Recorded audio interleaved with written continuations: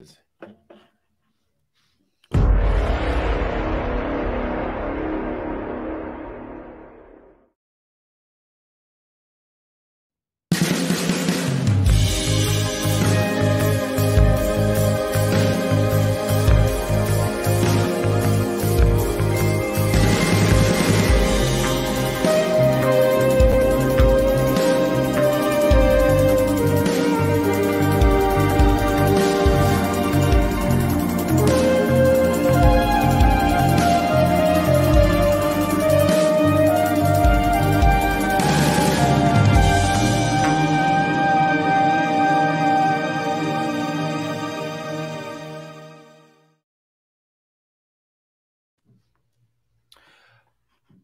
Uh, good evening. We're back. Um, welcome. Thanks for tuning in.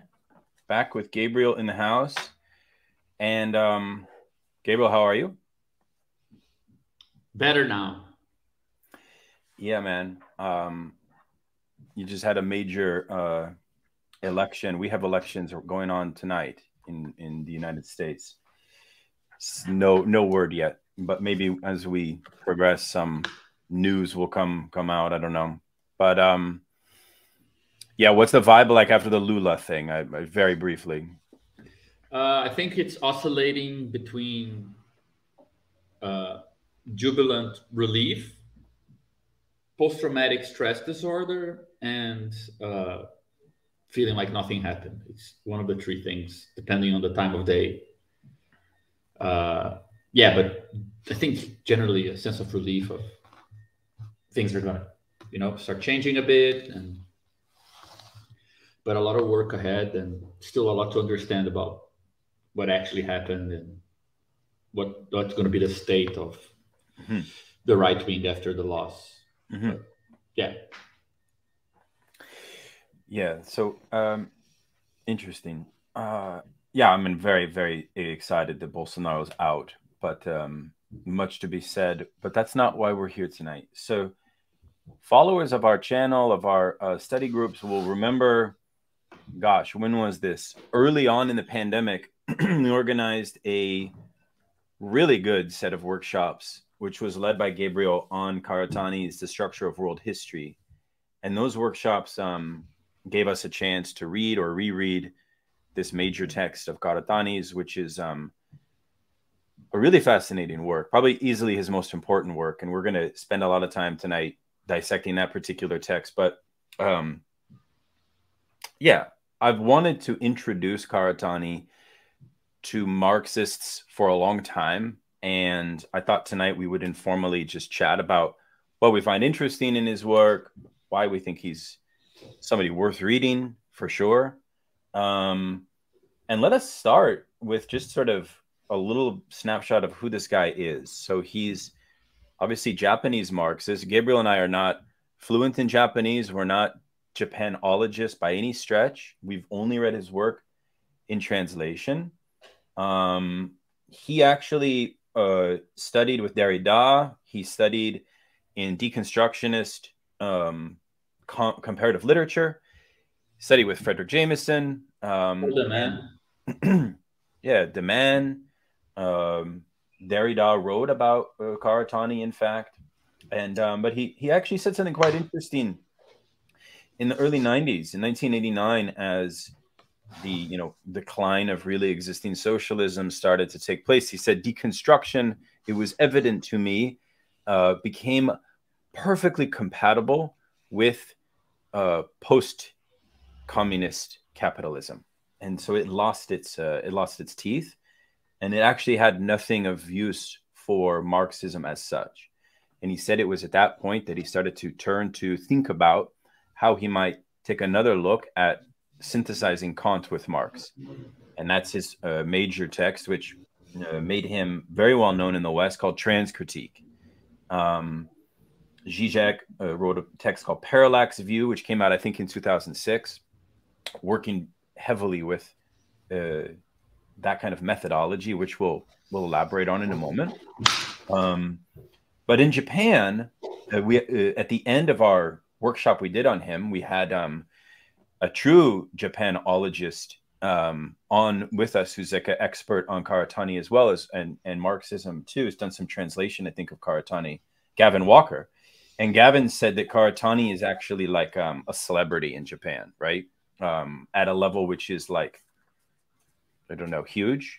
Uh, into like the whole dynamics of intellect, public intellectuals are uh, much different there, um, which I found interesting. Um, I also have some gossip about him. So when things get um, boring or hot and heavy, I can throw out maybe some gossip, even though I don't like to do that.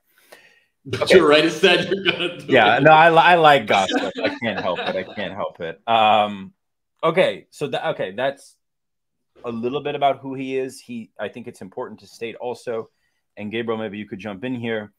Is Kozo Uno is an extraordinarily um, path breaking Marxist from Japan, born in the like 1880s, died in 1973.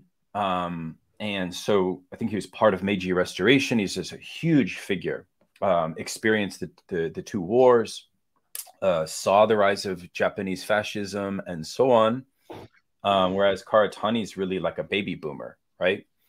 Um, although he's obviously a good baby boomer. uh, Say a little more about who this guy is, if you could, just in general. About who? About Karatani. Ah, okay. I thought you meant Kozo because. Oh, that too. That too. Oh, yeah. I'm not qualified to say much about him. Uh, but yeah, I don't know. I mean, I mean, if we frame this conversation today in terms of you know trying to kind of give a good introduction to specific kind of audience, right? To kind of make a case for Karatani as somebody that Marxists should read, not just the general public, not just philosophers or historians or something, but Marxists. Think that there is something to to be said about uh, the interesting place that he occupies as somebody who is engaged with Western and especially French, uh, you know, philosophy and those critical debates, but who's doing so from a different position.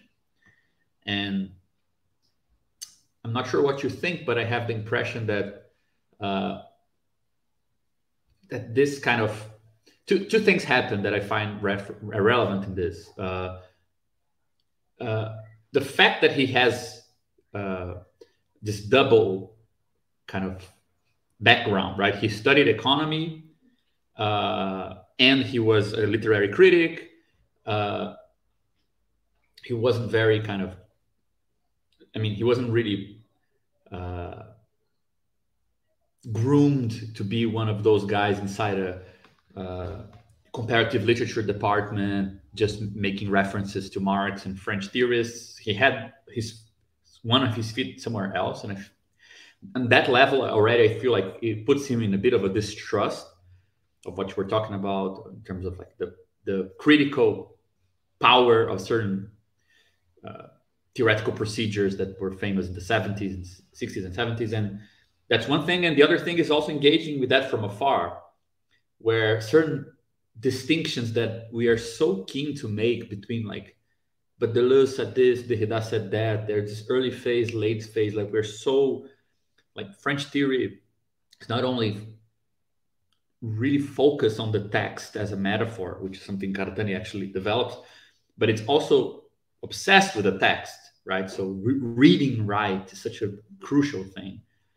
And I feel like Karatani doesn't really abide to that. His reading his work is a very strange experience of somebody chewing a lot of things you know and showing them to you in a slightly weird way that where some distinctions that are very important to you make no difference to him uh, and other things that you don't really care about suddenly become like these crucial things. And uh, there's a bit of estrangement there that i find useful. So uh, there is something about his distance and the way that he engages with this material that sometimes i feel does give it a fresh look uh, and like i'd say that appears more in his engagement with certain parts of the western canon of philosophy especially the way that he will integrate French theory, its stakes on, you know, critical thinking and so on.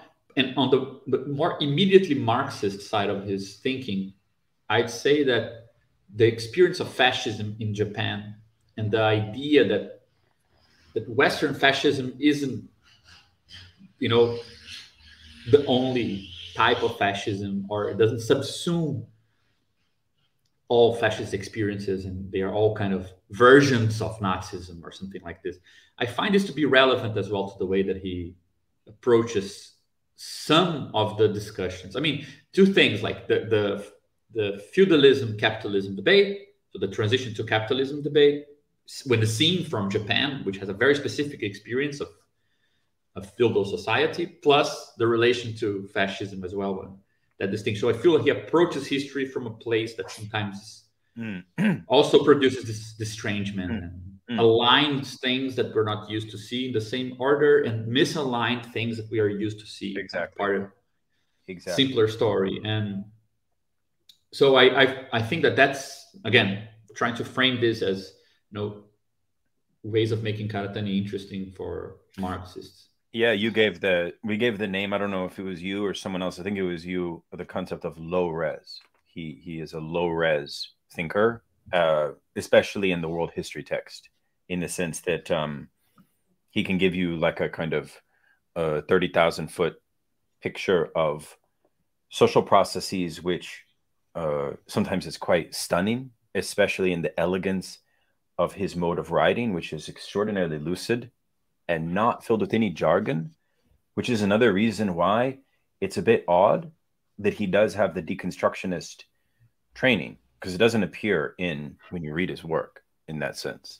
Yeah, I, I, mean, I disagree a bit, and I also I don't think that we should sell Karatani to the Marxist reader as if he's somebody who dismissed. Uh, I mean, you you you told the story, which I I remember him saying it somewhere about realizing that now the constructionism was totally aligned. But he's not somebody who's going to make it easy for you to create this tale of you know liberal postmodern French thinkers versus hardcore real Marxists. Like that's not how he works. And his first book on Marx was a book was kind of premised on the idea that we should learn how to read Marx and that there is a literary kind of procedure to properly mm-hmm. understanding what Marx is talking about that escaped many thinkers. So Marx, the Center of Possibilities, which is from 73, uh, is very much con- concerned with reading the text, right? Mm. And Karatani will actually claim that all the way to structure of world history, which I now forget if uh, it's published in in I think it's originally published when uh,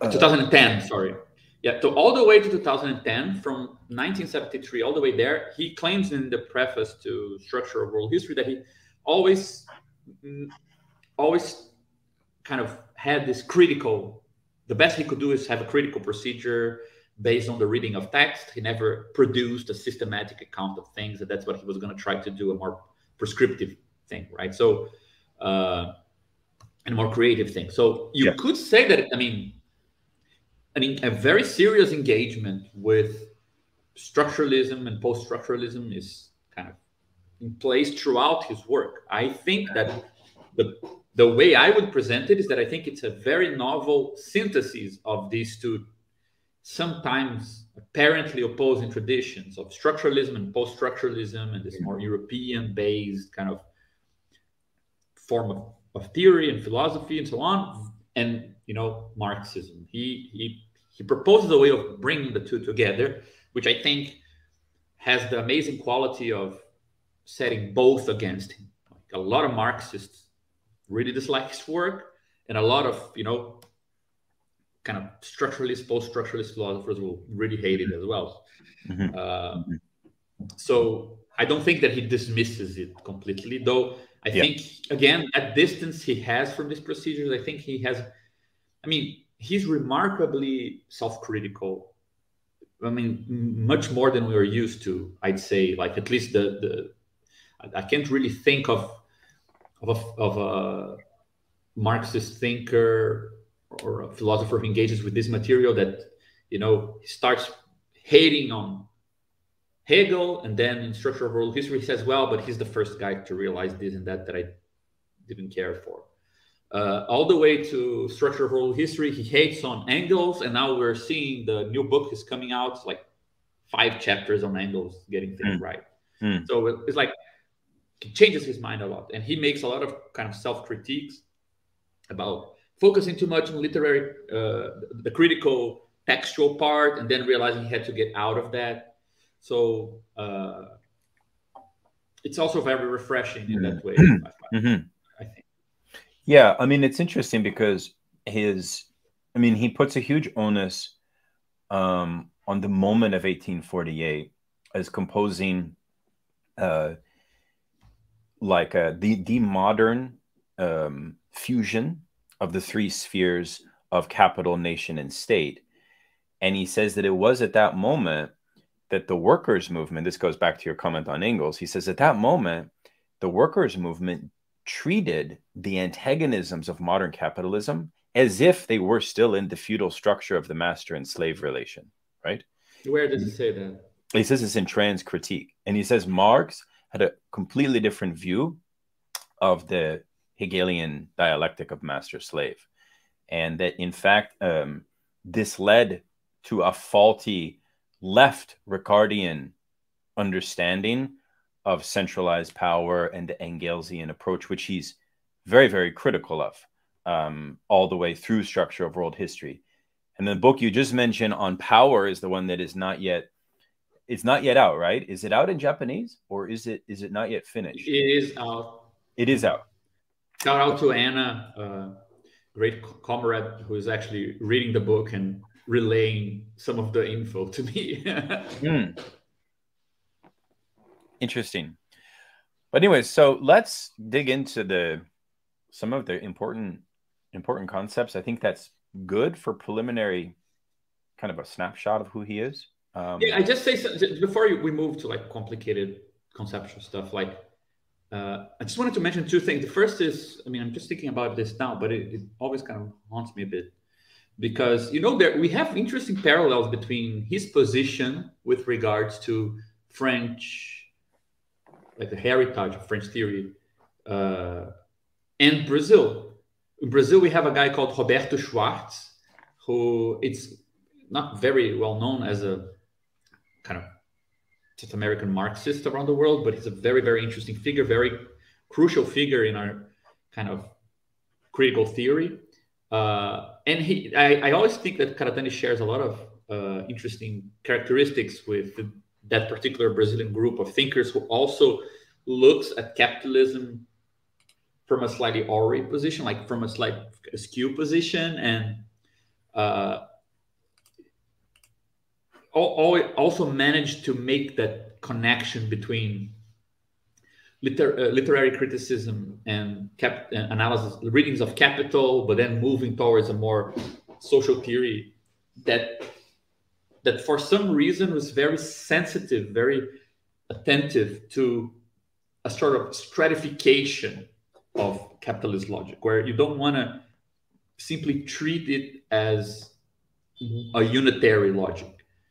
Uh, both this Brazilian strand, which today been developed under the title of peripherization thesis, uh, and the Japanese Karatani approach, both share, I think, these two traits. The first is kind of the lack of self grandeur that sometimes makes Western analysis of capitalism forget that capitalism emerged in a kind of marginal place. It didn't emerge at the core of everything.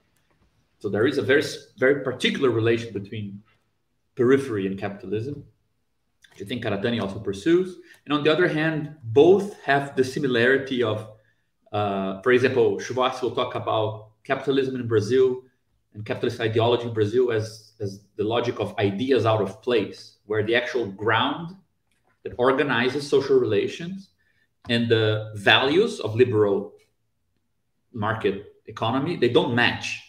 And you get like this misaligned structure. So, but to talk about misalignment, you need to talk about levels and kind of layers, right? And that idea of different logics that you need to arrange together, they don't don't come in a package that's homogeneous. That's also very crucial to Karatani. So, I find it interesting to see that. I mean, I don't think Brazil and Japan are the only places to have produced that particular type of analysis, but it's interesting to see that the further we go from the kind of axis of, you know, uh, classic, I don't know if you want to call it like this, Marxist analysis, like European, American, and so on, the more you get out of it, the, the clearer it is that this heterogeneity and this kind of polymorphous aspect of capitalist sociality is something that you need to account for right from the beginning, you know? Mm. So I don't know. I find that also an interesting thing uh, about his work. Just before, also before we move to his concepts, but I think it's also a, the guys have an introduction to that. You mentioned Kozo Uno, and I didn't say anything. And uh, what I can say, which I, I, think it's quite quite clear from Karatani's own use of his work, is that uh, I feel like there is, you know, uh, Uno is known for for that big book on the pure theory of capital, right? Where the word pure, I think, gets a lot of people annoyed or already with a kind of bad impression of it. But it's interesting to see this sort of interesting unfolding the theory of of capital as if it is a, it has its internal logic, which is not exactly the same logic as it as the logic of capital once instantiated in a concrete, you know, uh, multi kind of uh, uh, determined real situation, right?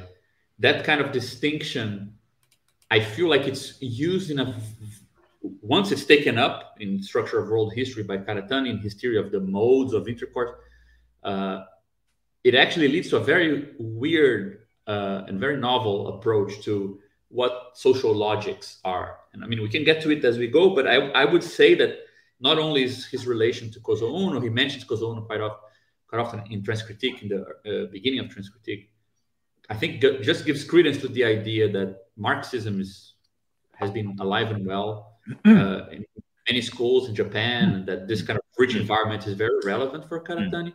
Mm. But I think that the it's an interesting thing to see this this particular line of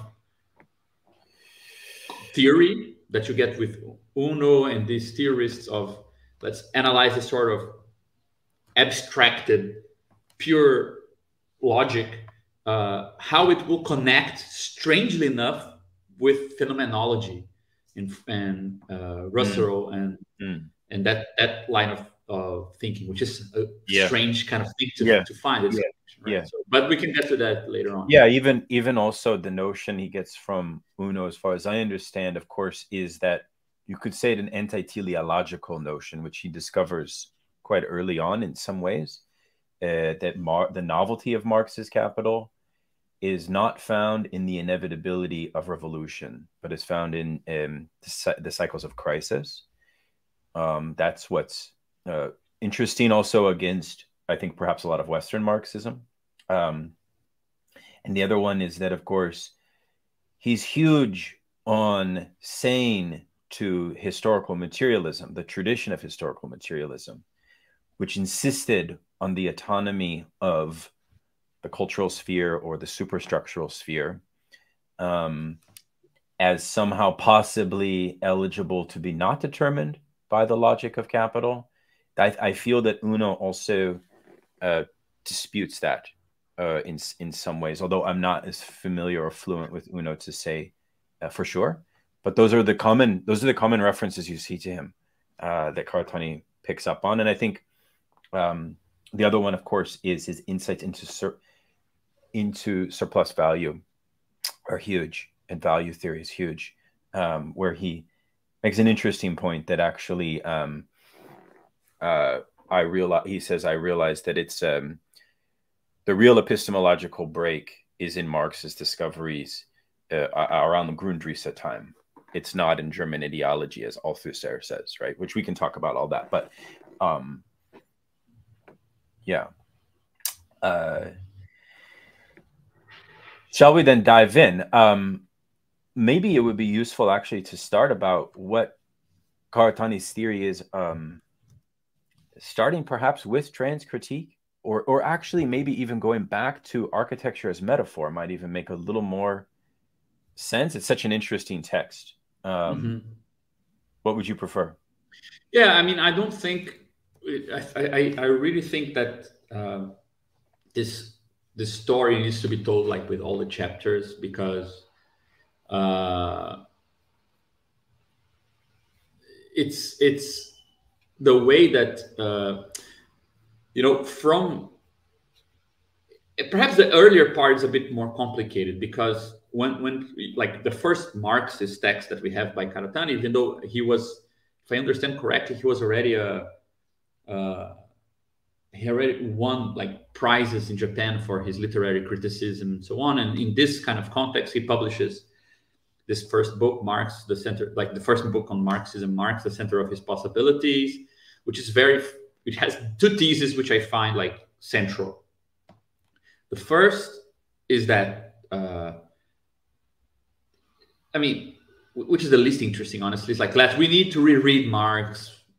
You know, let's take all these kind of tools from, you know, uh, the reading techniques, the critical reading techniques that you know, French theory and so on. Let's reread Marx and we'll understand what's really at stake there.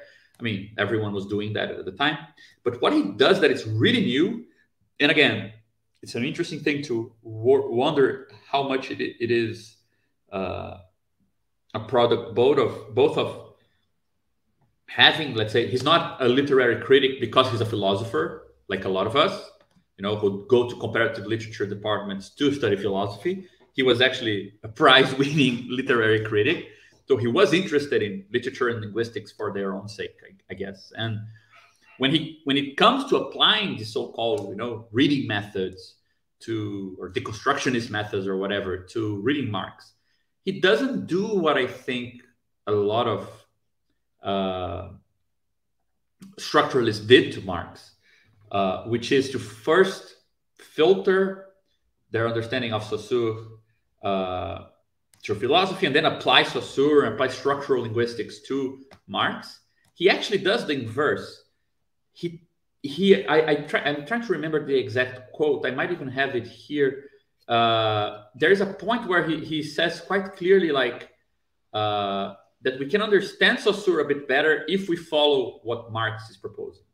So he he gets a quote from from chapter two of the first volume of Capital, where Marx says that value appears in between two communities, uh, because we exchange what's let's say the the, the surplus of one com- one community's production with another, and he says, well, you see this idea that value appears in between two systems.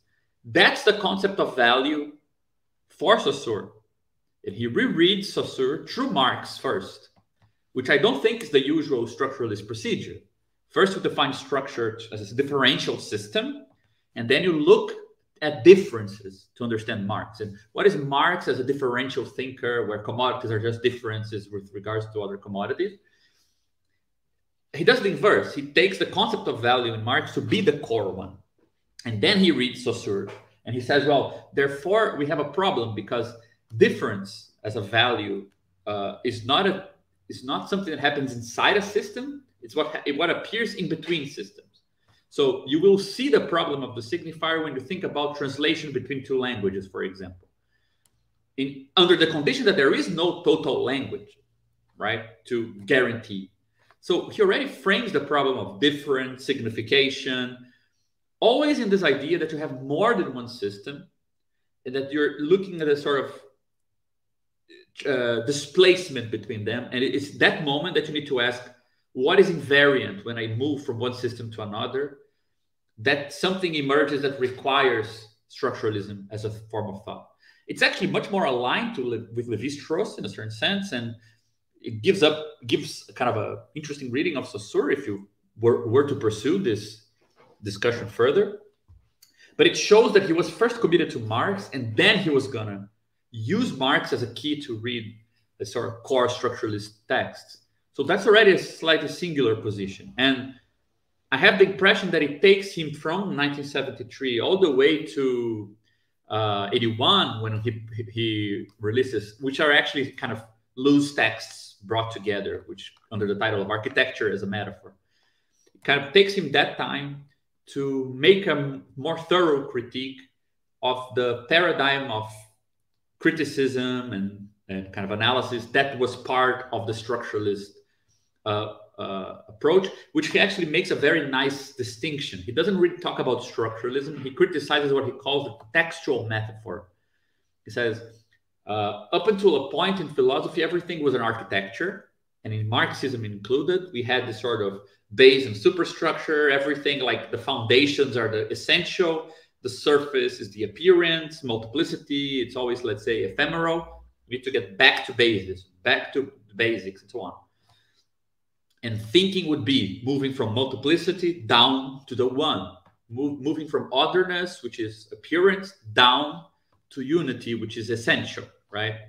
And he says, well, for many, many reasons, the 20th century moved away from this kind of metaphor of surface and ground or, you know, up top where things are accidental, contingent, kind of irrelevant, and down low when they're fundamental. Move away from that towards a more uh, kind of an inverted metaphor, even, which he calls a textual metaphor. And it's clear that he's talking above all about this French kind of milieu, which is like championed this idea, right? Where now you have the inverse.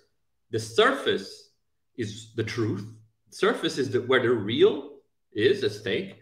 So at the level of multiplicity, the level of ambiguity, that's let's say where the closest to something fundamental and going down to the depths, going towards meaning, signification, the fantasy of ground, the fantasy of unit, that's always the contingent, the illusory, the dangerous part.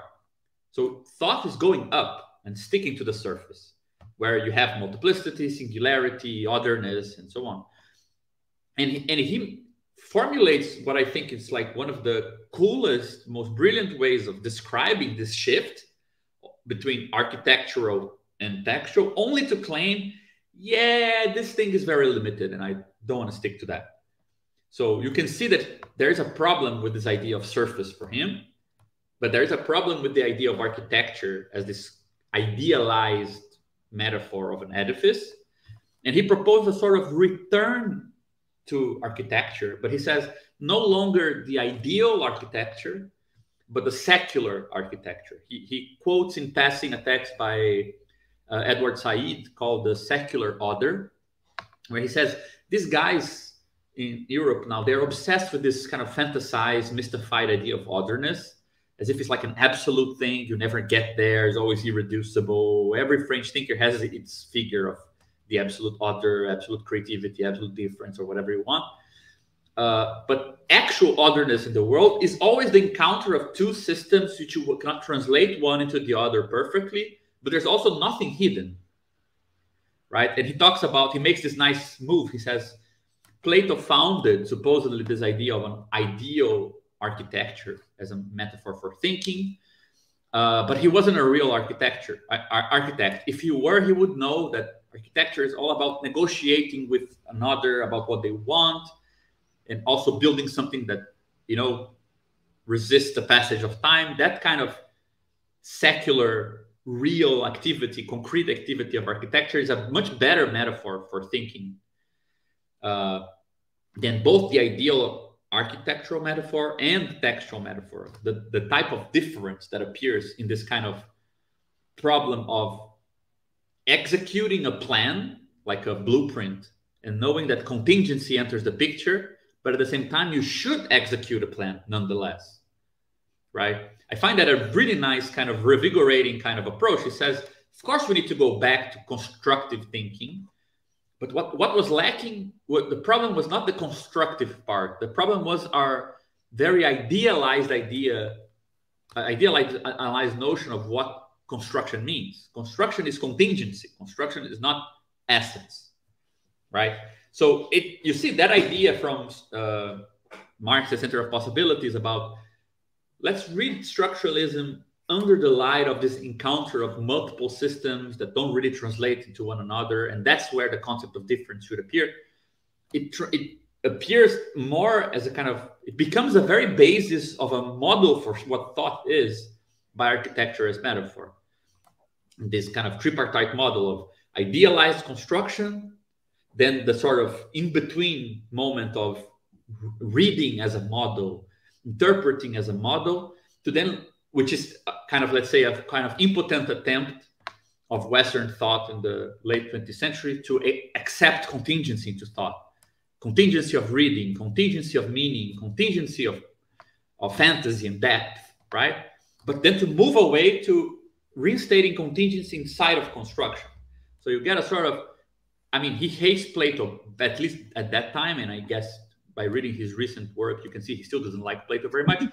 But you get a kind of pragmatic Plato, like a like an idea of construction, an idea that there is like there are bases for building things that we plan and so on. But what you actually, the way to do this is uh, it will increase contingency. It will increase the number of impasses and so on. So, so two really important references at that time.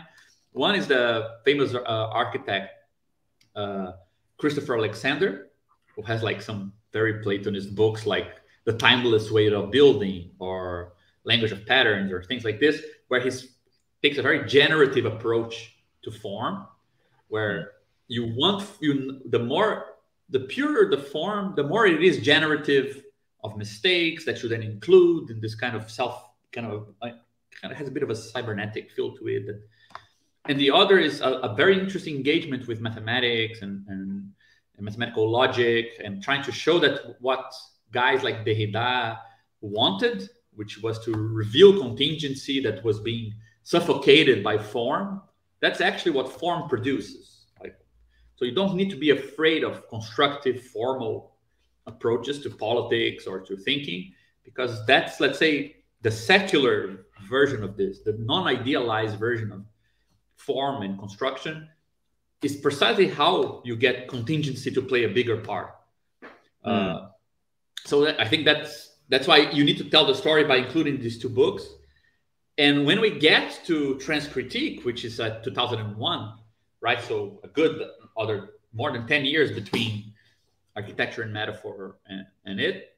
Uh, then I think you have, okay, this, you develop a robust approach to how to deal with structure in a way that's not, let's say, uh, you know, derivative of this critical textual tradition and now you're going to try to re return to this canon that goes from Descartes and Kant, Freud and Marx, because those are the main authors.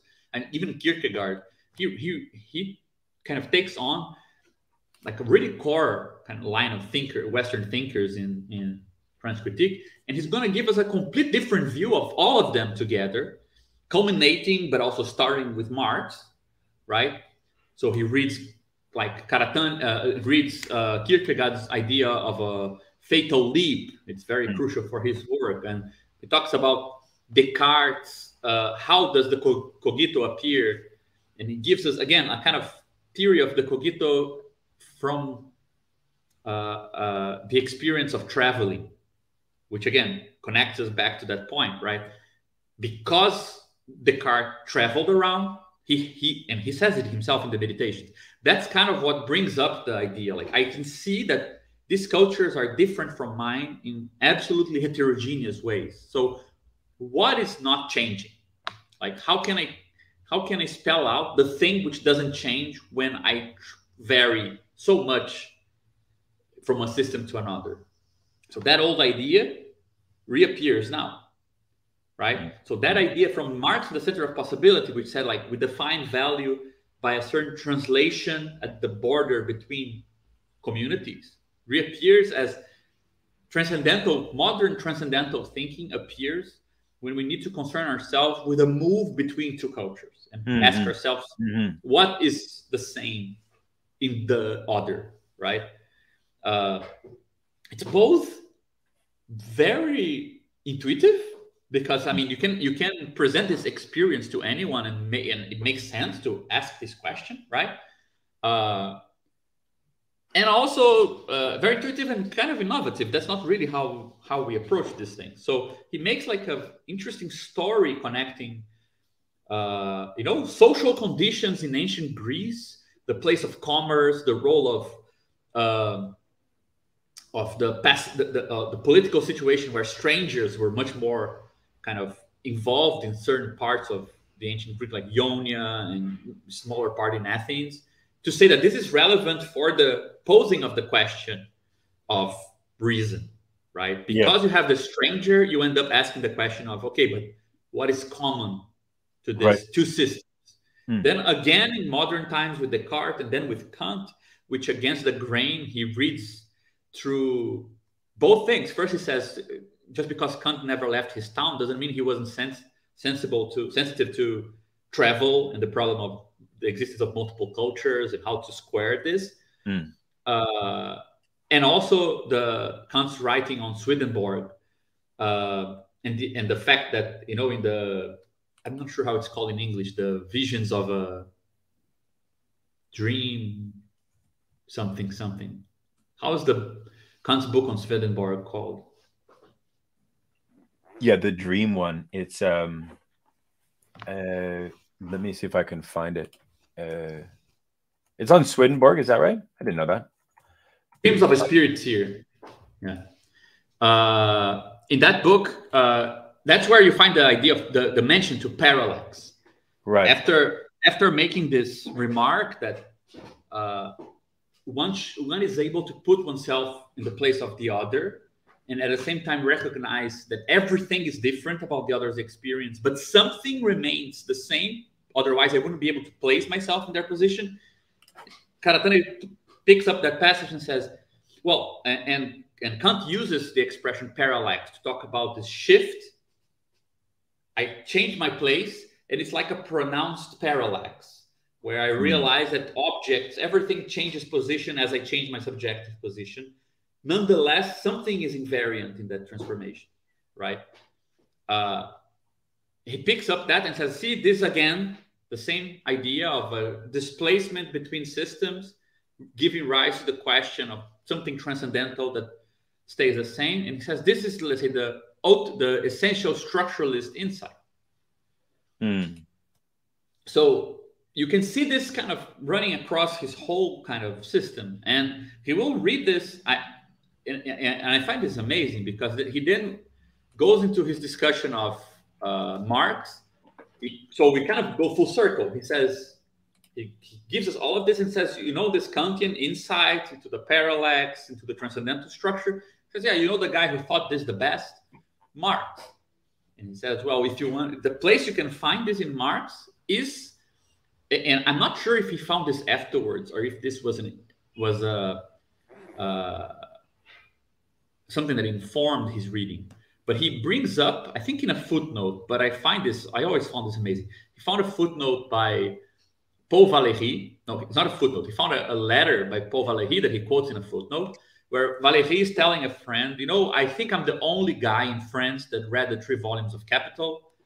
And one of the basic insights from reading it is that it is obvious that there is no uh, link between production and consumption. There is a gap between how things are produced and how they are consumed on the other end. Uh, and this gap not, you cannot eliminate it. And then Valéry goes into the idea that, well, this has a consequence for artists, aesthetic production. You shouldn't, the logic of production shouldn't be concerned with the logic of consumption of art or reception because there is a gap whatever. But he makes this claim. And Karatani goes back to this and says, well, this is the core of the two systems that don't really uh, coincide and that you need to leap between, right? He will then focus and kind of expand Marx's analysis of the moment just after, in the expanded formula for capital, you have money that buys labor power, buys means of production, produces a commodity. So that's the production side of it. Three little dots. The commodity sold for more money. Those three little dots there represent the moment that you take the commodity, which is already produced, and you need to make it consumed. It needs to be bought by somebody. And in that moment, he says, well, this is a place that there is a gap and it needs to be breached, right?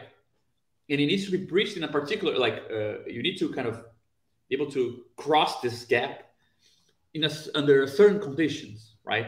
And at that moment, you can see value as the thing that needs to be preserved between the two.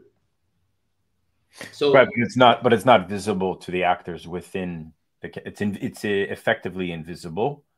But you see how that becomes clearer. The idea yeah, yeah, that yeah, from the standpoint of producing something, yeah, you don't see it. You only see the use value. From the standpoint of consumption, you only see the use value.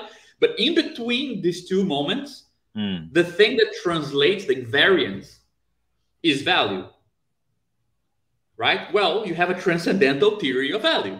Mm-hmm. So he says uh, in this in this sense, Marx has a transcendent a theory of something transcendental with a very precise modern, and then you can argue whether Kantian or not sense. Mm-hmm. Mm-hmm. Right? Because so yeah, yeah. I just wanted to point there, this full circle, right? Yeah. Idea. The difference there that he is very fond of drawing out, not I mean he mentions it um uh, a little bit in Structure of World History, but he mentions it a lot, is Ricardo. And that it was Ricardo's position that, in fact, that is visible. And it's through exploitation that this moment uh, is evident. And he says um, this goes back to the critique of aspects of Marxists who didn't read Capital adequately enough. And um, it also shows that thing I was saying before about his theory of conflict within capitalism in some sense. Um, because exploitation is not um, the root there. I mean. He has a theory of exploitation for sure, but I was wondering if you could say something more about that. I was always struck by this uh, critique of Ricardo because he says that Marx um, had uh, awoken from his dogmatic slumber um, through the engagement of um, the other economist who is never mentioned at all. Samuel Bailey. Bailey, yeah. And Bailey is basically the one who made Marx understand this quasi Kantian transcendental uh, moment, that this is the the theory of surplus value that Marx is arriving at, uh, or allowed allowed the proper distinction between um, absolute and relative surplus value theory. Yeah, I think that, I mean, if I recall the way that he makes the analogy, he says uh, Ricardo is to Leibniz as Bailey is to Hume. So, with and Marx is Kant. So, you get on the one hand Ricardo saying something like, you know, money is like a accidental, illusory thing. Exchange value is actually inherent in the commodity, and then that that would be let's say the a sort of rationalist account mm. uh, kind of almost like a pre-modern understanding of a sort of rational subject you know like it's the reason is embedded in this thing and mm. then you get hume saying well but the more conventionalist take on relationalist also take on on reason and so on and bailey would do something similar for value with saying well but, but wait a second actually value is only exists in relation to other com commodities, but a kind of relativist take. And then you get both of the antinomy, right? Is exchange value in the commodity or in the relation between commodities in a sort of conventionalist sense. And Marx would solve this antinomy by showing that it's both and neither in a similar yeah. way that reason will be taken up by Kant as being both, let's say, not in a, you know, the immediate faculty we we have as you know under our power so to speak but also mm-hmm. not just a convention a set of customs or something like this so mm-hmm. if i if i recall correctly that's that's where it appears but uh, it follows from this a theory of different takes on surplus right yeah uh, so yeah I, it, you will find it there the sort of uh, account as well uh, it's weird for me because mm, the way that he I don't recall exactly like if I, am I'm, I'm afraid that if I go into let's say the way he develops the theory of surplus uh, in Transcritique I might misconstrue like the core of it. Like I can even try to open it here just if I can recall like the way that he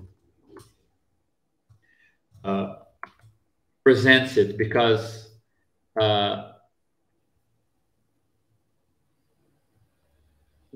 I mean, it, it is the it is you're you're right in saying that there's something that goes directly from this to uh, his theory of uh, you know like not theory but his kind of political strategizing because right. Transcritique ends with a kind of counterintuitive idea at least for some and for some like a heretical idea that well if his theory is correct uh, under the reign of relative surplus value uh, which is let's say what's truly singular about capitalism right? You, you get uh, extraction of absolute surplus meaning having workers work more hours so in this way that's conditioned right?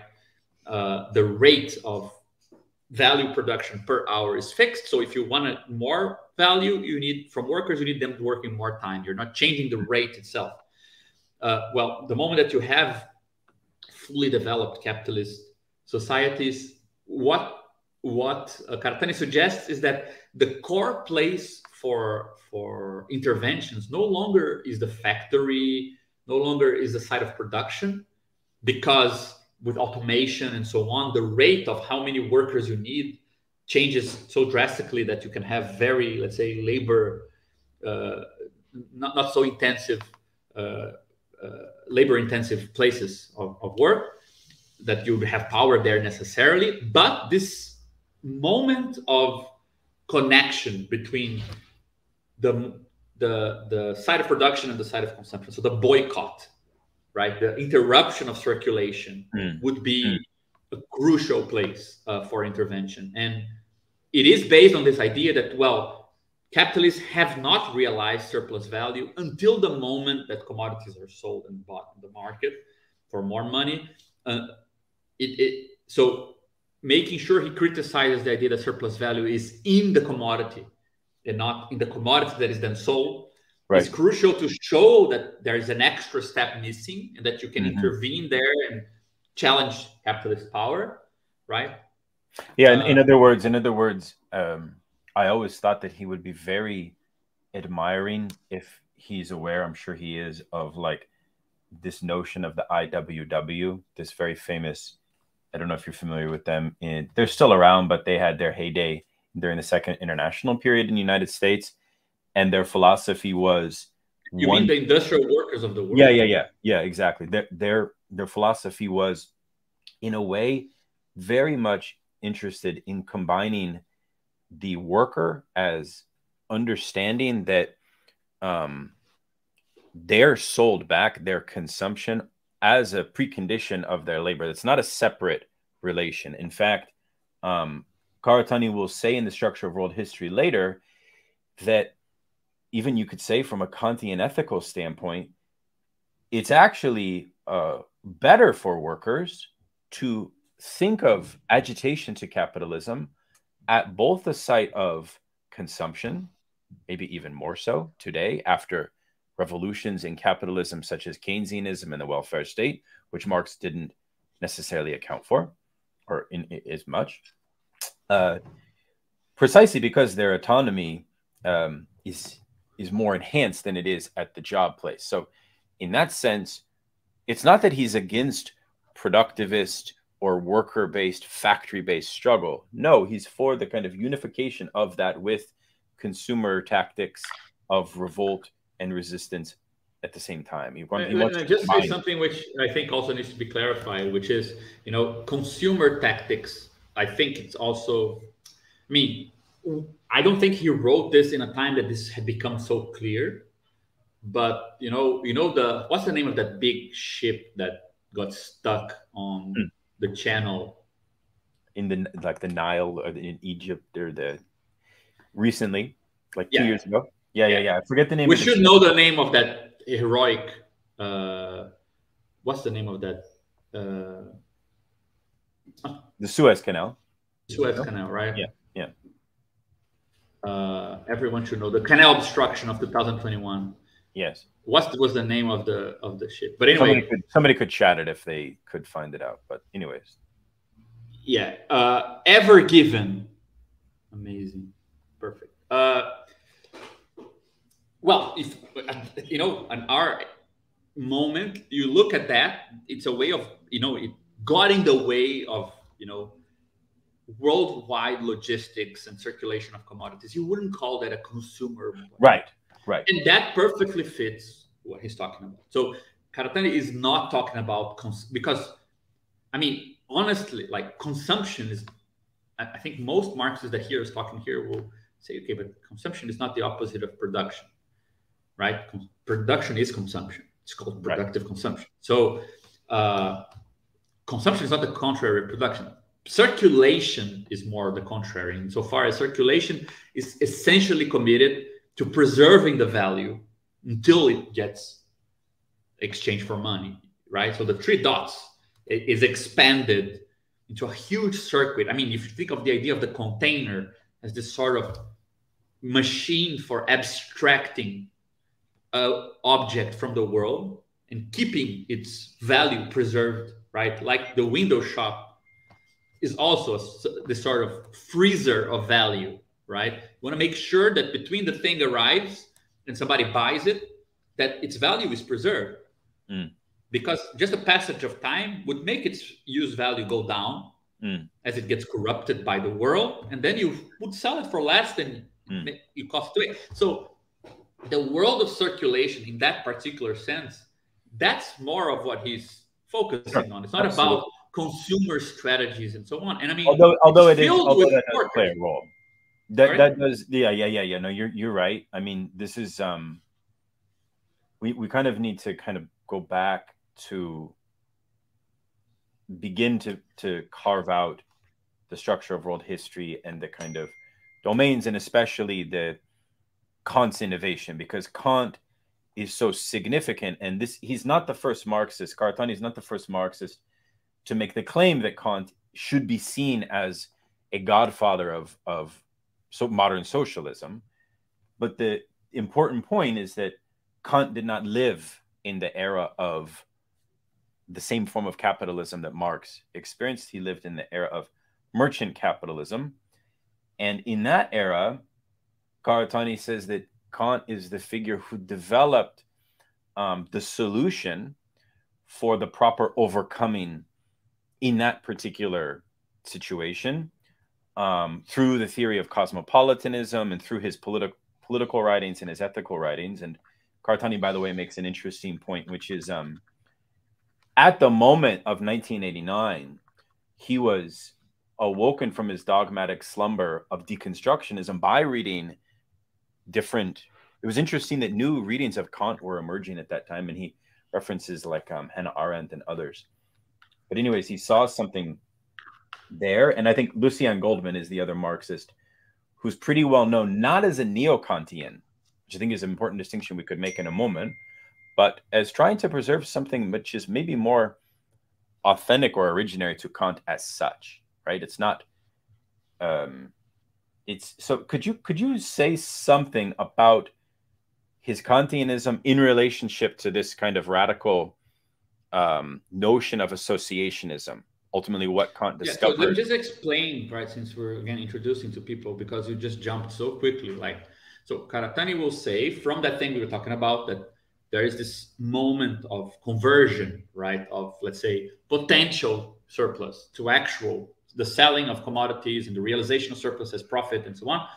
Uh, that their moment is a moment of intervention that is more structural than the strike at the side of production. The strike Correct. at the site of production can be, under certain circumstances, it might be kind of made neutralized. It might be neutralized by by particular forms of uh, capitalist organization, but the moment in circulation wouldn't be. So we should start paying attention to it. Then you mentioned like, yeah, it's not in, it's not being against the productive. I, I, I think he, again, I think he doesn't care about that debate. Like he's not saying shit about what others are doing. He's just saying pay attention to this as well. I agree. I agree. That said, uh, he goes a step further and he says, well, the moment that you, because he's not a moral, the moment that you break the circuit of commodities. People who need those commodities won't get them. So, in, in tandem with doing this, one should develop alternative forms of production that can feed the communities that are left without the commodities. Mm. Not only that, but the way that these exchanges should happen should itself be mediated by different currencies. So he develops a complex scheme of different apparatuses that should go together, both critical and in terms of interventions that interrupt things, but also things that are set in motion. And he proposes this thing he calls the associationist movement based on this complex kind of composite of strategies, right? Strategies at the level of interruption of logistics, strategies at the level of creation of cooperatives and developing of small producers that can, you know, serve populations, but also strategies for the development of local currency. He was very much kind of enamored of Michael Linton's project, uh, LETS, right? Local exchange trading systems. Uh, mm-hmm. uh, and he, he says, look, these things could go together, right? And he's also an internationalist as well, in the sense that um, part of the logic of um, what Kant discovers is an ethical imperative, which is in complete concert with Marx's notion of the future of what would what would be beyond capitalism. He says Kant actually thinks the beyond of capitalism more adequately than Marx did because Marx was trying to solve something different. And he says, and I think it's obvious that Marx and Engels had very little to say about what the future would be, but Kant actually gives that. And furthermore, the utopian socialists and the anarchists, Proudhon and Stirner, actually experimented with this in Paris Commune, right? Right? They they are the ones that innovated um, what a form of life of association might look like that's not dictated by the dominance of commodity exchange, right? Yeah. So uh, on that, uh, we're I mean, hopefully we can get a bit more into it once we lay out like because Transcritique is this kind of last book of a certain series, and it opens the space for this big, big opus structure of world history, where he systematizes some of these ideas much clearer. So at this point, I, I feel like both the the theoretical work he's doing with Transcritique and the the militant work he's doing, because it's at the time that he develops this new associationist movement. Uh, I feel like you get a couple of things that I wouldn't focus so much, especially because they don't return exactly in the same way afterwards. So I think they're a bit more contingent than it looks. The first one is that uh, he already plays with this idea of a, a, a, a, how do you say this word? Associationism. Yeah, yeah. yeah. Uh, at that point, and he develops a, a kind of practical view of how this should look. Practically has to do with what we're talking about strategies of boycott, development of new com- communities of production, new means of exchange uh, between people. Philosophically, because Transcritique is already framed like you need a theory of value based on a transcendental reading, because you cannot treat value as either being embedded nor being just relational in a conventionalist sense. So you can locate this mortal, fatal leap of the commodity, otherwise it would disappear. Uh, you need this transcendental theory of value. With this, we're establishing a dialogue with Kant. So he takes this dialogue as far as he can. So he makes a bunch of analogies like Bailey's to Hume, uh, is to Kant, and then uh, he develops like a, a, shows that Kantian ethics is very socialistic because to treat the person always as an end in themselves, never as a means. It's kind of antagonistic with labor power as a commodity uh, because then people are reduced to a means, the means of a uh, special type of means of production, right? Uh, so on and so forth but now I and, and he goes as far as analyzing like Kant's texts on cosmopolitanism, uh, Kant's kind of dubious relation with nations and the, what would supersession, supersession of nations look like and so on. And he will follow this line of thinking and generalize it to a point because if in Transcritique, Kant is kind of this beacon that shows that there is a seed of something interesting for socialist thinking in philosophy, in modern philosophy. Uh, and again, if you go back to the earlier work that he did, you can see the similar gist, which is to say, you guys want to throw away a tradition that there's something there in this constructive type of thinking, Mm-hmm. We just need to be secular and pragmatic and kind of real about it, you know, in, in, embedded in a more contingent kind of environment rather than dismiss it in favor of something which ultimately will be more idealistic.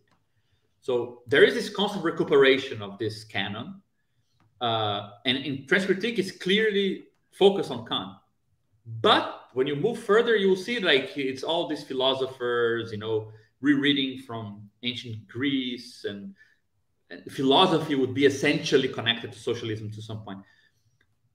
I think that, uh, I mean, personally, I'm not that interested in the argument is Kant, you know, anticipating something relevant for socialism. I, I mean, it, I find Karatani so creative in his readings of everyone uh, that he's clearly not the reader of Kant to the letter of Kant. No. If he manages to show that there is a socialist Kant, that's to the merit of Karatani, not to the merit of Kant. I have the impression Karatani could do this to anyone he, he pleased, you know, because of the particular way he does things. Like, I just don't want this, and I don't find it that productive. On, if I, I find Karatani's commitment ultimately is to socialism.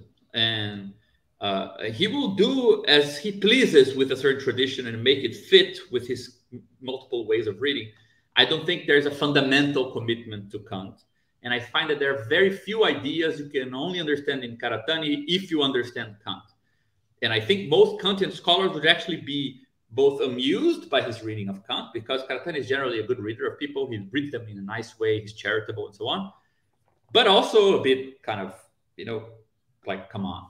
Yeah, I mean, this is the big thing I, I discovered when I presented Karatani to American Kantian scholars, where you'll remember in Structure of World History, um, he says the most important modern or like highly contemporary um, political philosopher working in the Kantian tradition is John Rawls. But John Rawls misread Kant because he thought that Kant was actually putting forward a theory of um, a distribution based model for the achievement of the Kantian kingdom of ends, right? But uh, in associationism, which of course he does make the proper footnotes and the proper argumentation to show that Kant did identify empirical examples of real um, early socialist associationist movements in his own time and use those as the scaffolding by which his theory of cosmopolitanism was developed. So I think, therefore, that especially when you deal with American philosophy, academic philosophers that are analytic, that are trained in Rawlsian Kantianism, it's actually I think important to stake down more of this argument that here's another way to read Kant that he opens up for us. Because there is a sincere um, Kantian studies contribution that Karatani could make um, for also the cause of socialism, I would say, because it, it means something very different to talk about um, the efficacy of Kantian ethics within capitalism than after you read what Karatani does to Kant. You know what I mean? Because he has this whole thing that actually Kantian associationism is the best solution for the dissolution of the state. And that Kant is fundamentally an anti statist thinker, right? Um, and that um, none of his ethical vision is even feasible within a world dominated by merchant capital or by more sophisticated capital that Marx experienced. I think these things are are worth uh, retaining. Yeah, I mean, honestly, like, is there any serious philosopher whose vision of ethics would be realizable under market and state power? I mean, well, those are liberal, liberal Kantians um, act no, as if.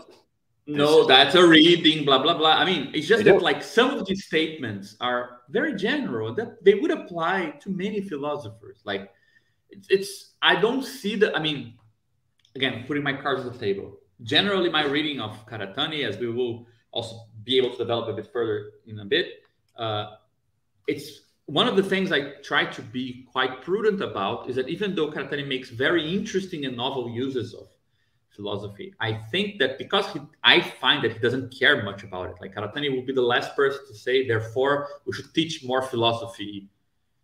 You know, that will help us. Like it's not what he's saying. Uh, but I think that there can be a reading of him where it seems like philosophers are doing this great socialist work that I don't think that he's implying, right? And like Kant did not solve socialist problems by writing books sitting at his house. It's only because Karatani is already considering like this huge tradition of things that came after and that were happening at the political level that he's able to provide this reading that nobody who read Kant without these other commitments was able to provide. So yes, we can make statements of that sort, but just like with Saussure, he produces the reading of structure as this differential thing from his engagement with Marx and other kind of variables were not private to. Mm-hmm. Why was Karatani that read it this way. I think the similar thing is happening now to Kant. He's going mm-hmm. to Kant. He's fundamentally committed to this kind of shifting perspective between communities through which the transcendental appears in the middle. He picks out, a, uh, you know, those thinkers that kind of help him develop this, and the strong the foothold of the analogy is in Marx, not in Kant. So it's not that Marx is like Kant he's more showing that Kant is more like Marx than we thought. But ultimately, the the the strong place which he uses, this, the kind of the meter or the standard he uses to evaluate, is not Kant got things right. Let's see how much Marx also gets them right. Is that Marx got most things right? Let's see how much of it Kant also got. Of course, these things are never like pure parallels. Sometimes by doing this, Kant shines a clearer light on some things, but that it's never about Kant, you know, to the point that this is dismissed and it's not really the way he will an- analyze things later. And I think that this is a crucial thing. Mm-hmm. Uh, he writes this in 2001. Again, 10 years, nine years later, he comes out with the structure of world history. And Kant plays a very new role. It's no longer a model for thinking in general, for the mm-hmm. transcendental, but the, the sort of logics are now called modes of intercourse. Yeah. Uh, are modes and not uh, the transcendental of value, mm-hmm. right? Mm-hmm. Mm-hmm. And we no longer have this idea of two systems that you go from one to another. You have the idea of a tripartite structure, and he says, yeah, we get a much better picture with Hegel, and we need a theory of history, which is something we didn't get in Kant. So mm-hmm. it's mm-hmm. not that committed to this I, I wouldn't enough. place him in the position of Kantian Marxist. Like, yeah, no, secondary. Sure. It's secondary, but I'm using it only to um, push um, American liberals who have a very particular reading of Kant that they think is antagonistic to Kantian socialism. Yeah, I see, I see, I see. Yeah. Okay, well, that, that's an interesting debate. I, I, I, no, no, no, totally peripheral. All right, no, but let, okay, beautiful and yes, I mean there are like a number of proper names like Hobbes. Like there are there are um, proper names in the history of philosophy that Karatani brings in for their discoveries, which are highly idiosyncratic to the construction of his philosophical project. And we can we can talk about some of those some of those names. Um, but maybe could we um, could we talk about the modes perhaps. Mm-hmm. It, uh, it, seems like a good time. Yeah, uh, no, I think that's the right place to do it because uh, it's interesting. Like you get this analysis in. I mean, he already does this by the end of Transcritique. The end of Transcritique, he he he makes a very strong analysis at the end of it, saying like, which I, find like that is very productive of showing. You know, if there is this kind of gap this moment of possible inconsistency in the circuit of surplus realization, of course, capitalism will try to develop structures to bridge it more consistently. And well, if you try to blockade a street, the police appears really quickly because the state is very much concerned with preventing surplus from not realizing itself. So there, there are, let's say, ob, uh, social objects or social uh, apparatuses or whatever you want to call them that intervene at that moment, for example, to guarantee the, the circuit of uh, surplus realization to complete itself, but they are not necessarily part of the process of production themselves. They are, for example, the police. So he, he starts looking into the way that, for example, the logic of the state integrates itself in the logic of capital, even though they're separate, but they are also, let's say, helping this gap to get stitched together, right? And he finishes the book by kind of analyzing the way that nation state and capital stitch each other in this way, right? So it's already a merit of transcritique to show the, the, the logic of capital, A, from this kind of very singular idea of, of, of a transcendental point of view, which is a historical, not subjective. It's not about you know your subjective. It's not how capital appears to you that makes it transcendental. You know, it's not because we are cognitively structured this way. It's transcendental in the precise sense that it is invariant under transformations, right? Value is transcendental because it is, let's say, framing a process in a way that this frame determines something about that process and not in the sense that me as a cognitive agent have categories that structure my kind of subjective existence in such a way that cannot but perceive value. It's not about that, right? So the first singular point is this, this idea of, well, there are social logics that are objective in the sense that they frame a process. They are framing our very experience of something contingent, but at the same time, they are historical. So they're not outside of time. They're not, let's say, constitutive of our uh, cognition, but they are constitutive of our social cognition, perhaps we could say.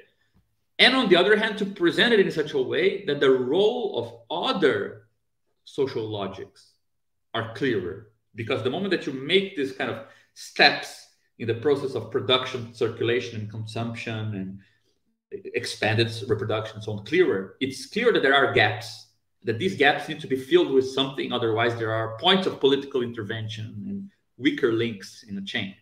So it clarifies the role of state and the way that nation and state can appear. That's why he yes. will give political analysis of Bonapartism and these things yes. there yes uh, and so on so you have all these tools that are developed there but they are kind of weakly systematized and we get 10 after 10 years we now get let's say a step-by-step construction not only of how these things are integrated into what he will call the nation state capital system right which would be a basic form of modern society where you have like these three, three different logics interacting.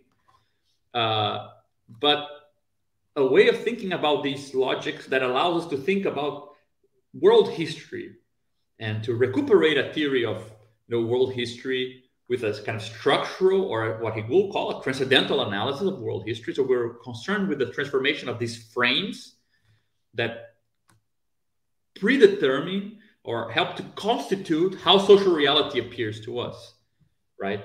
And keeping to this finding of transcritique, which is to develop a theory of something which is has the transcendental power, it is predetermining, constitutive of, of social reality, but at the same time, historical. It can be changed, it goes through transformations, it is not set in stone or built into our cognitive existence, right? Uh, and the way that he does this, and I, uh, it's it's funny because he claims at the beginning of Structure of World History that he realized that the first guy to look at this and systematize this thing that he mentioned at the end of Transcritique, the nation and the state and capital integrating somehow, was Hegel in the philosophy of right. Yep. Uh, and I think that it's even clearer in in a little short text from the philosophy of history, uh, reasoning history. Uh, but you get many places this idea where you civil society and the state are presented as kind of dual in contradiction. For example, civil society is the place of the will. So people organize around their different wills and different necessities. And when you do this, conflicts emerge. So we develop, for example, a set of laws to regulate our behavior. But when you do this, you in this objectivation of will through law, you create a contradiction, a conflict, because even though law is a product of our wills in a certain sense to regulate our wills, it starts, it can create a mismatch, between state and civil society. And culture is, is the sort of third communitarian dimension that can, let's say, express and conciliate the conflict between these things. So he says, well, this model where you have civil society with the economic realm, state and culture or, or this kind of identity, national spirit coming to give expression to this conflict, right? Uh, and also to to to give it form. You have this basic Trinitarian structure, right? He will give. I, I'm not sure if he gives this example, but it's an example Hegel gives, right? For example, you have a system in civil so- Greek society that is based on uh, uh, will, the vengeance, and so on. Uh, Antigone, for, for example, in this system, for example, you might you know lose a brother and then you want to bury him, but this is against the law. So you mm. have a conflict between the law and desire, and then you have, let's say, a theater play mm. that stages this conflict, you know, proposes a kind of form for it, so it becomes thinkable. And you can so, see all three spheres interacting: the cultural, the state, the uh, civil. Yeah, yeah, that makes yeah, sense. So you get that idea. So he starts by saying, look at this. So he starts right. with a kind of reading of Hegel, which itself is very debatable, very curious, especially because one might claim that the contradiction that Hegel used to see between will and law, mm. uh, what Marx does in his critique to the philosophy of right is to move the contradiction inside the realm of the will. So the contradiction is no longer between will and law, to be solved by culture. Mm. But the contradiction is within the will because some people will things and they have the means to do it. Some people don't even have the means to will, right? Uh, civil society itself is ridden by a contradiction between forces of production and relations of production. Uh, that contradiction is also with the state, right? And then the state itself is for Marx already an expression and conciliation of this, with culture appearing as. I mean, you could you could go into that fine grained discussion, which in a way Karatani does cover. Every mode for him, every one of these realms will be ridden with contradictions, in fact. Mm. But he starts with his reading of Hegel. And actually, the first thing he does, even before he says this, he says, you know, Marxists usually focus on the concept of modes of production to start thinking about history and, you know, deep history, long history of social right. formations. And we're going to change it up. We're going to think about modes of exchange. Uh, I tend to prefer the word intercourse rather than exchange simply because if you continue reading uh, the, the, the book, you see that uh, he, he makes some remarks to, to let me see if I can find it here. I, I might even have it here he says that he's taking the the, the term from from the German Verkehr and and then even to Stoffwechsel uh, vessel like like exchange even at the material level when you would say a system exchange energy with another the word exchange is not meant to signal like exchange value or like an exchange in the sense of two equivalent things being traded right? It's not modes of trade. It's modes of exchange in this broader sense that things go in and out of a boundary. So we can, we should be able, we should be able to apply it, for example, to exchanges with nature. Mm. Mm. So it's not mode of exchange in the sense of trade. I think that's crucial. Otherwise, it, it, that's why I tend to use intercourse, where that idea of, you know, something crossing a boundary with another is more relevant. And if we recall you know how this idea has been at play since his reading of Saussure in 73 it makes more sense to to keep to the broadest idea of translation or circulation between systems right? Yeah absolutely. And he says we want to look into this. We want to start not from modes of uh, production but from modes of intercourse. Uh, and you see that he's already this is also a move. It doesn't undo the things he did in Transcritique, but it's also a move as kind of zoom out because we already saw gaps in the logic of capitalist production and and, and circulation, right? This this fatal leap mm-hmm. uh, where surplus needs to go through to realize itself as profit and so on. Uh, and now he wants to look at the logic of these other modes that can help this fatal leap, for example, from from you know getting in the way of capital circulation. So we're now looking at this broader thing, and we want to. We're not moving away from production and saying production is not important or everything is actually exchange. That's what he's saying a lot of people call Karatani a circulationist, as if he's saying that value is produced in circulation or production is in inessential. You could have like a conventionalist idea of value. This is not what he's saying. But he wants to move out because he needs to find the thing that state, nation, and capital as kind of dynamics or logics have in common. And what they have in common is that they all imply some type of, again, intercourse right? And we want to specify things both by looking into the specificities of each of these modes, and second, by combining them. And I find that this takes us back to the Kozo Uno thing we were talking about, because uh, one thing I know he takes from Uno is this idea that Marx's analysis of capital implies this connection between uh, it's an abstraction it take it leaves out, for example, analysis of taxes, analysis of the state, analysis of property relations in more detail. Uh, it, it leaves it does its best to present the logic of value and the logic of surplus, the logic of capital in its purer form, but it implies a reduction to do so. It implies kind of an abstraction from the world to do so. Uh, but for, for Karatani, this is not a problem. So this idea of a pure theory, the merits of the pure theory of something which doesn't exist in that way in reality, that the idea that this is a good method, you can see that he takes in part from Uno and in part from his reading, his even in architecture as metaphor, when he was engaging with Derrida, one of the points that he makes uh, is that you know, when the Derrida started writing, the first thing he did was to write a, a commentary on the origin of geometry by Husserl.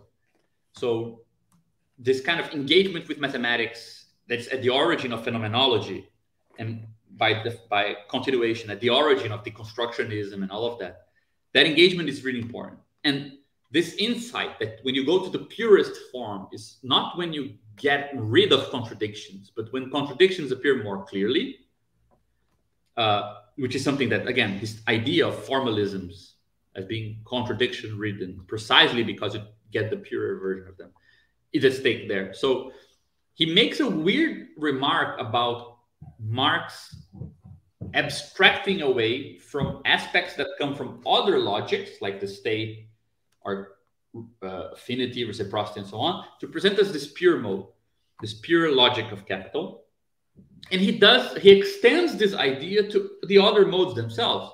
And he will look for example at hobbes as a thinker that did something similar to the logic of state of modern state as somebody who abstracted away for example from the the very the specific problems of communitarian relations which actually let's say when you say that everyone is at war with everyone what you really mean is communities at war with one another. But because he's abstracting away yeah. from the communitarian relations, you get this pure theory of the state almost. This is this right. is kind of the method of bracketing.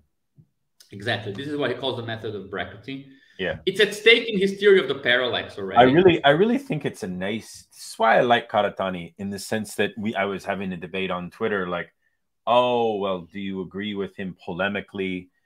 I don't even care. I mean, like he makes me think, right? Like it's a different way to think about like uh, getting to the root of the logic of a system and things of this. Can you could you say a little bit more about bracketing? I think it's mentioned in architecture as metaphor as a method, but it's obviously something that he uses all throughout his. Yeah, I mean, I, I we mentioned before this idea that there is something about a transcendental that is like value is a the value form is a transcendental form, mm-hmm. uh, but you don't arrive at it by leaving out all of reality and just going back to your cognitive the things your cognition cannot but presuppose when it constitutes objects like the kantian approach what it does is actually it abstracts from everything which is not part of a social logic so let's say there is something like a reduction, like a phenomenological reduction in the sense of Husserl. Actually, I mean, this is a bit of a side note, but in my opinion, clarifying side note. Uh, in a book called, I mean, a book called in, in Logics of Worlds, but Alain Badiou has a definition of the difference between subjective phenomenology and objective phenomenology. And uh, I think it applies very nicely to what Karatani is doing because uh, in, in, I think that the term he uses is uh, he says uh,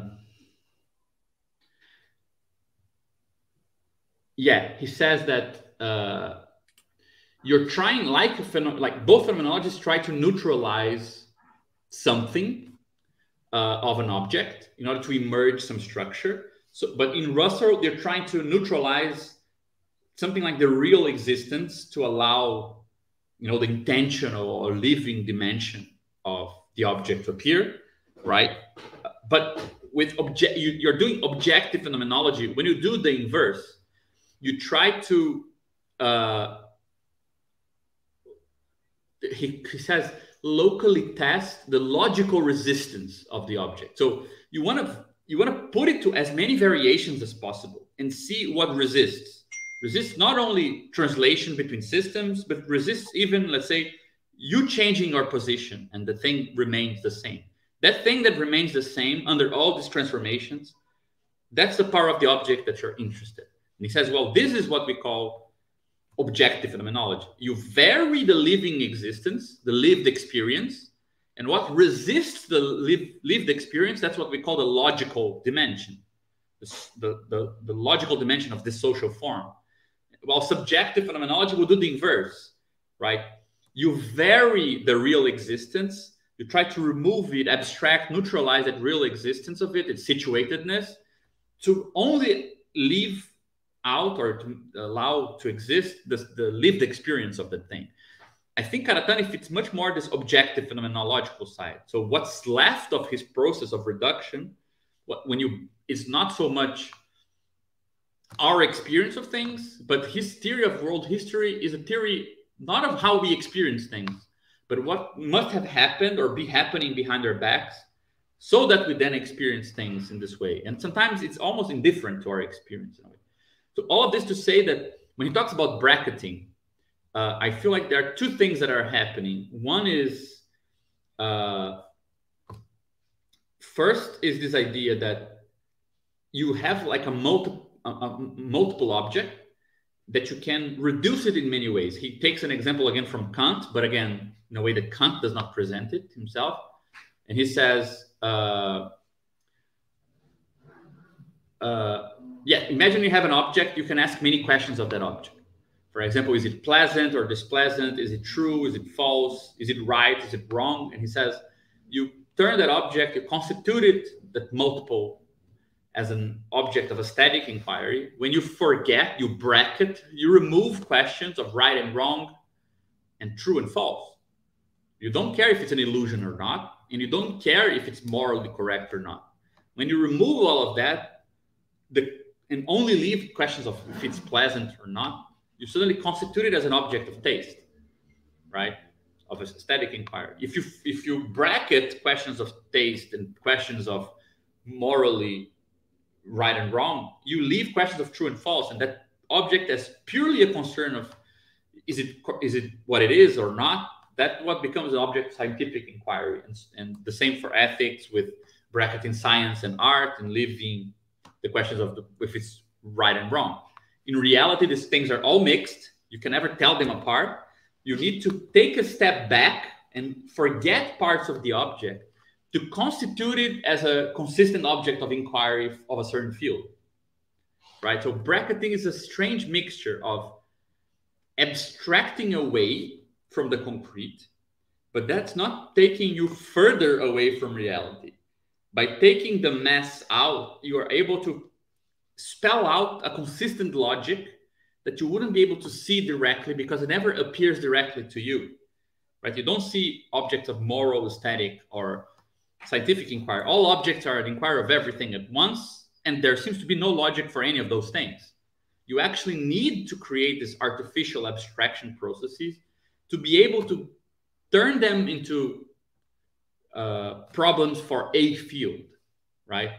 But then, so while usually we think abstraction removes us from reality, all of these different bracketings and constitutions of the same object as objects of inquiry for a given field are actually capturing something real about the object. It's just that you cannot capture everything that is real about an object from one given position, right? So it's a, it's a particular way of thinking uh, about uh, this reduction or abstraction, where you're both cutting up the thing into parts, mm. but because you cut it into parts, you you get to analyze it and get closer to it rather than get mm further away from it. Mm. Uh, and he applies this theory of bracketings to, I mean, with a bit of a transformation. I mean, he doesn't talk about it in those terms anymore, but to these modes of intercourse. He will say social phenomena are actually always a mixture. There is no one social phenomena that is, you know, pure commodity. Commodities, for example, in modern societies, is also a property and it's there are property owners and there is the level of value of these prop of these commodities which concerns the communities and customs and you know more subjectivized values that things acquire i would even say we can probably separate three terms here because you can have value you can have how, what's the word in english for this try it uh, you know you can have wealth value and uh,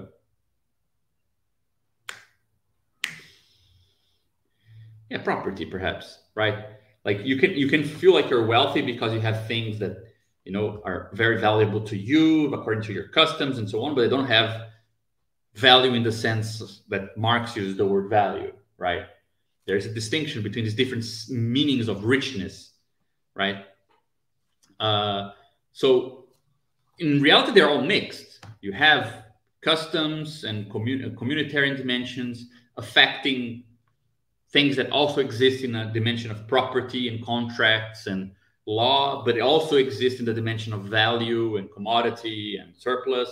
They're all mixed together. And you actually need to abstract away from reality in order to arrive at, let's say, a purer form of description, which is both, let's say, more consistent in the sense that it gives you the means to work out the inner logic of what's going on but also inconsistent in the sense that if they were the only thing existing in reality, they would actually lead us to contradictions and problems that the other logics help you to solve. So it's a weird mixture.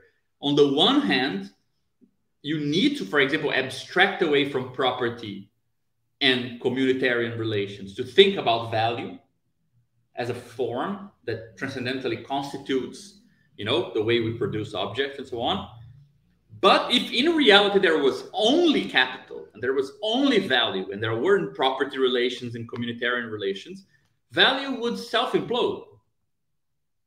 Because of, for example, as we talked about, this kind of leap between production and circulation, mm. because property relations guarantee, you know, uh, an, a crucial aspect of primitive accumulation without which you cannot have the fictive commodities that allow uh, surplus to be extracted. So you need these other things. Without them, it would just self implode. And I even think you can go further, like uh, uh just give you guys uh, uh, a brief kind of description of the four modes that Karatani describes. So this is already kind of a uh, the crucial thing, right? We, in Transcritique, uh, here he ends up talking about you know nation state and capital and he already puts kant socialism uh, as this fourth thing without describing very neatly.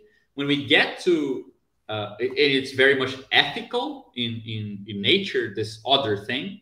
When we get to structure of world history now he actually merges and he kind of uh, serializes these things in a much more systematic way where you know the logic of nation the logic of state and the logic of capital. They're first generalized. So nation, state, and capital are particular historical forms of broader logics, so much broader that they need to be accounted for in every social formation.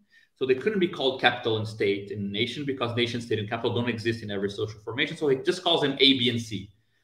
A for the logic of gift and reciprocity, B for the logic of contract, law, state, plunder, and redistribution more generally, and C for logic of commodity exchange, which exists you know, in many, many societies without becoming capitalism, right? But then he adds mode D, which because it is a mode of intercourse should not be understood as like an ethical system based you know on individual rationality and something like that. It's meant to be an economic description right? He calls every one of these modes economic modes modes of economic intercourse so for him religion is an econ- economy right uh, at least in principle the way that it's meant to organize trades, intercourses, transformations, and so on. Uh, and then, so first you, so you have all these different things happening at once. First, you generalize these modes, A, B, C, D, right? Uh, if if Karatani was Preobrazhensky, he wouldn't write the ABC of communism. He would write the ABCD of communism. Uh, and second, he's putting this fourth logic, which he calls sometimes X, this thing that hasn't really been fully developed yet. He puts it first in the series with this other tree. He says there is reciprocity, there is plunder or state logic, there is commodity exchange, and there is free association. Free association is an economic logic of intercourse mm. with humans and nature as any other, right? Uh, and so just to dis- distinguish them to make them a bit clearer, I think it's quite easy. So we could simply say that the logically speaking, mode A is about pooling and reciprocity. Uh, mode, mode B is about plunder and redistribution. So, for example, taxation, where you take money from people but then redistribute in terms of services, for example. It's still still plunder and redistribution, but with a you know human face. Uh, commodity exchange, the exchange of objects, where proprietors or producers, produ- uh, producers are different, but objects are equal, right? Uh, is commodity exchange, broadly speaking.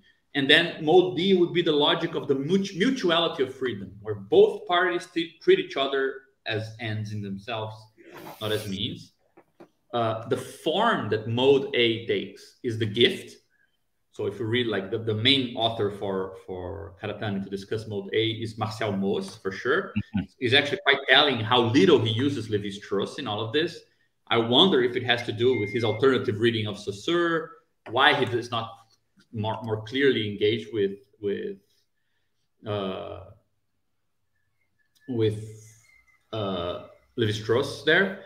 And he also talks about, uh, you know, many anthropologists, uh, Sahlins and others. Yeah. But it's basically the logic of gift and counter gift.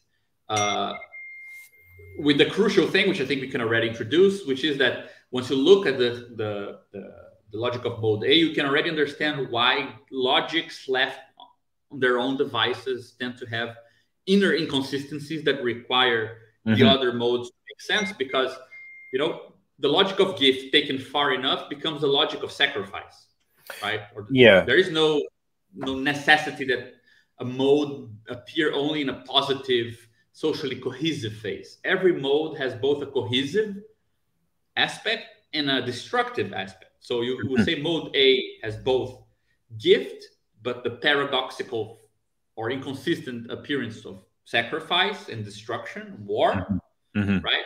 So let's say the the the inverse or the subversive dimension of mode A, which doesn't it's not a negation, it's its internal kind of critical point is war. War is a form of making a community, right? Having enemies is not, for most part, uh, not recognizing the other is a very honorable way of recognizing others to have yeah. enemies, yeah. right? So the negative face of reciprocity remains reciprocity. Mode B uh, we know it. The opposite of law, the opposite of state is revolution. And revolution is not just the negation of state.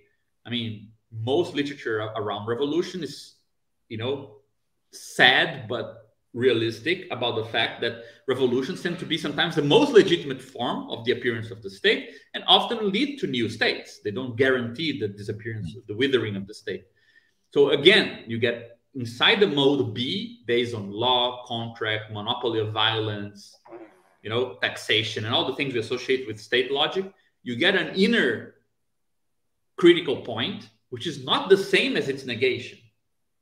And the same with mode C. The other side of capital, commodity exchange, surplus value is crisis, without crisis being in itself escape from capital, but an inner critical point, right? So all of these are dimensions of each mode that left unchecked, they invert into their critical phase, their yeah. destructive phase. And often the other modes are the ones that come into play to prevent this critical point of arriving. So the state prevents the, the crisis in capital to emerge, but then communitarian relations and national sentiment and sovereignty uh, movements prevent revolutions sometimes or condu- conduce revolutions in certain dimensions, right? Directions. Yeah. Uh, and all, it's also the reason. It's also the reason why he says that state, nation state, prevents in this conjecture that we that we live in the emergence of one um, hegemonic empire. And this is why he says uh, Hardt and Negri are wrong to say something like the concept of empire has any merit. And he actually says, yeah, uh, it makes much more sense to say we're our era. He has a wonderful essay called um, on neoliberalism. I forget the title of it, but he says our era is defined as an imperialist era. But it's not an imperialist era in which there's one, you know, empire because of the contradictions in the relations between the modes, especially between state. Um, so that that I found interesting. But one thing I I, I wanted to flag was just before we go on, just, can I just leave this as an exercise to the reader because I didn't mention what is the negative face of mode D. Right. And what is that? Like cool, mutuality of freedom, free association of equals, unreciprocated gift, cosmopolitanism, world republic. Okay, but what is the negative face, the critical point of this mode? If it is a mode like the others, Karatani doesn't go there, so it's a good thing to to think about. Yeah, no, that that that is interesting. But let me say one thing because D, uh, you you you said there's four, and I felt like um in a sense, D is uh, to say that there's four doesn't make sense to me because um, D is this um, principle which returns us to A. It's not as if D is a um, D, D, in some sense is a um, vanishing mediator. It's not a clearly defined logic. It seems almost as a kind of revolutionary. Vanishing mediator um, because its exchange structure is A, it is a return of A in higher form, he says. He says D is the appearance of A in higher form.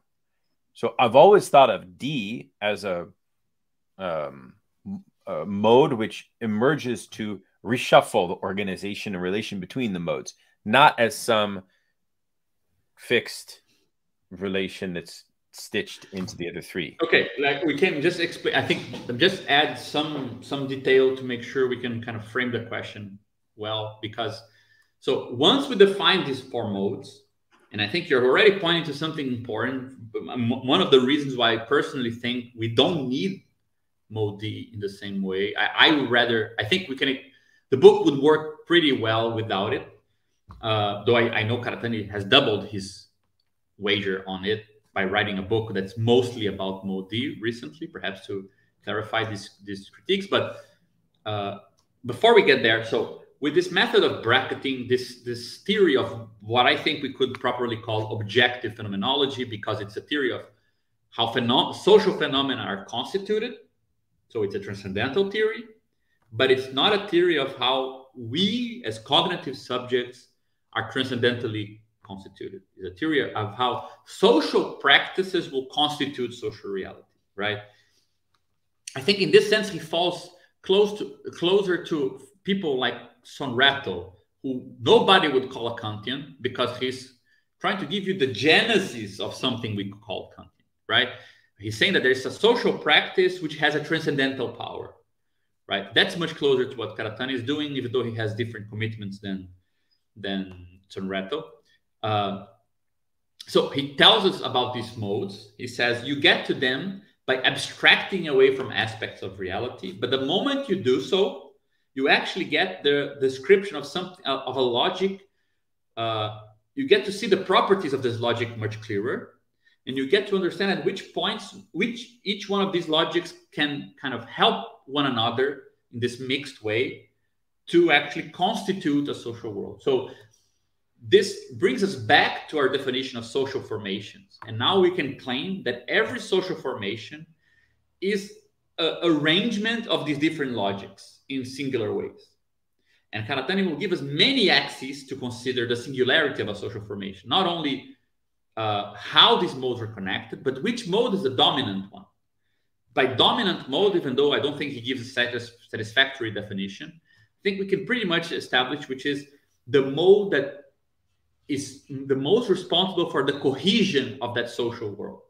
So, for example, there is mode C in certain tribal, you know, societies. For example, between federations of tribes, they can do something which was called silent trade, which is very much a commodity exchange. I leave an object, you go there. If you want the object that I left, you put another of the same value and go back home with the one I previously left. Then I take the one you left. And it's an equivalent. No debt is created, no connection is created between us. really good mode to exchange with strangers that you want to keep as strangers. So mode C is present, therefore, in that social formation. But if you were to remove it, it wouldn't change the fundamental characteristics of that space, which are much more indebted to reciprocity. Pooling, balanced reciprocity, negative reciprocity, the, the birth of communities, establishment of federations, and so on. The keeping of inequality in check through a certain type of debt creation, and so on. So he first says, well, we need to look at not only how they're arranged like these mixtures. But there is also the fact of which one of the modes is the dominant mode. So you can have a lot of different societies that will have, for example, mode A as a dominant. A bunch of different societies that have mode B as dominant. And then you have a bunch of societies with mode C as dominant. And we haven't had any with mode D yet, right? Uh, so which mode is the dominant one? I like to think of it as a chord, kind of the, the one that gives you the bass note that you listen to the everything else in relation to it uh, kind of as a way of thinking about this dominance. But there's also a spatial component because you can have a dominant structure with capital at the bottom, giving the cohesion of a state and communitarian or reciprocal set of communities on top. But it's further from the center of a world system, for example, or it's closer to the center. So he takes this kind of world systems analysis of, you know, center margins, submargins, or you know, cores and peripheries. And he also spreads these logical categories geographically and shows that this is also a feature that gives them singularity, right? So you end up with these four modes uh, and a spatial and temporal way of varying them that gives you a very rich vocabulary to talk about the singularity of social formations. Now, you could say, oh, but what about modes of production? Have we then lost, you know, the classic historical materialist analysis of modes of production? No. You will now be able to define what production means for any one of these worlds. Like the question now becomes, what must be happening so that production appears as what it is for those people in that social formation? So why is it that if you read, I don't know, Marilyn Strathern or, or Marshall Sahlins talking about what production is for Melanesian people, they don't see themselves producing when we see ourselves producing. They don't think they're doing labor exactly where we think we're la doing labor. It's a very different social formation that production is divided across gendered lines in specific ways. You want to be able to account for all of that, right? So it's not so much that we dismissed production as a core concept. We just don't treat it as a primitive concept production is the is the combined uh, oper, operation. It's it's operation that it's the, the product of combining more primitive operation. So the way you exchange with nature, if nature is conceived as a partner, already prevents you from thinking that you're producing by taking something from nature, changing it, and putting it back into circulation for consumption. You need to have a relationship to, you know, what's not human that emerges as if it's inert and without form, so that you can then take it, change it, give it a new form, and call that creation. If you need to respect the form that things have around you and you give them kind of a soul, when you create and you produce, you're actually destroy, destroying something, not necessarily producing. So you can give a transcendental theory of why what we do looks like production in our society, and other things look like productive activity in other societies, or why economic production in the sense of production of value might not be so central in other social forms, right? Uh, I didn't say this, but we can also have a concept of, you know, types of social grouping for each one of these modes. So you have, you know, uh, hierarchies of honor and caste. Uh, I don't know how you say this in English. Caste. Yeah. Uh, or or hierarchies of domination and status, uh, and hierarchies of class in mode C, right? So you can now imagine how all these things get mixed together uh, in this society. So you don't lose again class antagonism and all these things, but you get to filter them through how these things get constituted for each one of these modes mm-hmm. uh, or each one of these social formations. Mm-hmm. Now, what I, why I think this is this whole description is needed to get to your question because Karatani does a couple of things. Like uh, once he gives you all this complicated kind of vocabulary to talk about how each social formation is structured slightly different, right? For example, using his theory, we could talk about the distinction between uh, segregation, racial segregation in the United States and racial segregation in the formation of Brazilian society. I think I, talk, I spoke with you, Daniel, about this already. Like I, I find this very useful because you can see the formation of American society very much as you know a capitalist environment where already segregated communities emerge and the state it had, takes on a federalist form to preserve the segregation of communities for the sake of market financial interests. In Brazil, that's not the case. You have a capitalist interest, you have the state first, with no communities established. The state just kills off indigenous populations, does huge primitive accumulation, everything belongs to the crown and then communities are built on top based on hierarchies of work. So Portuguese people come, slaves come. So you have a different kind of chord, if you want, where you have like capital state communities, where in the states you have capital community state. So you can actually start talking about that singularity, right? But he Karatani creates a problem for himself, or at least let's say it's for me the place where he's clearly still the most indebted to a kind of French structuralist kind of approach, which I don't like very much, which is his theory of transitions. So he now needs to account for why did societies dominated by mode A appear to begin with? How did they change into societies based on mode B and mode C?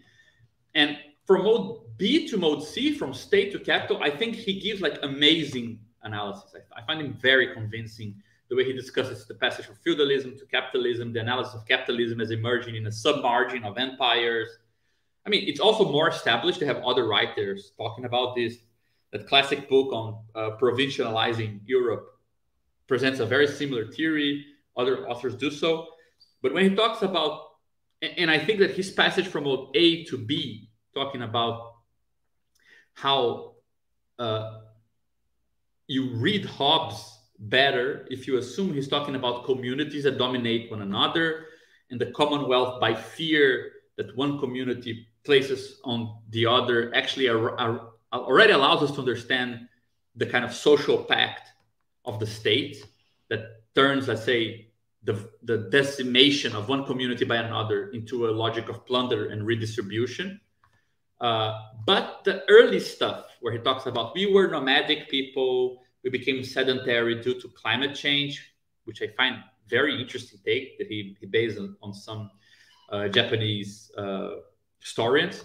Uh, so he takes the sedentary revolution to precede our agriculture instead of the inverse, where we became, you know, savvy on, on, on how to treat the soil. That's why we stopped moving.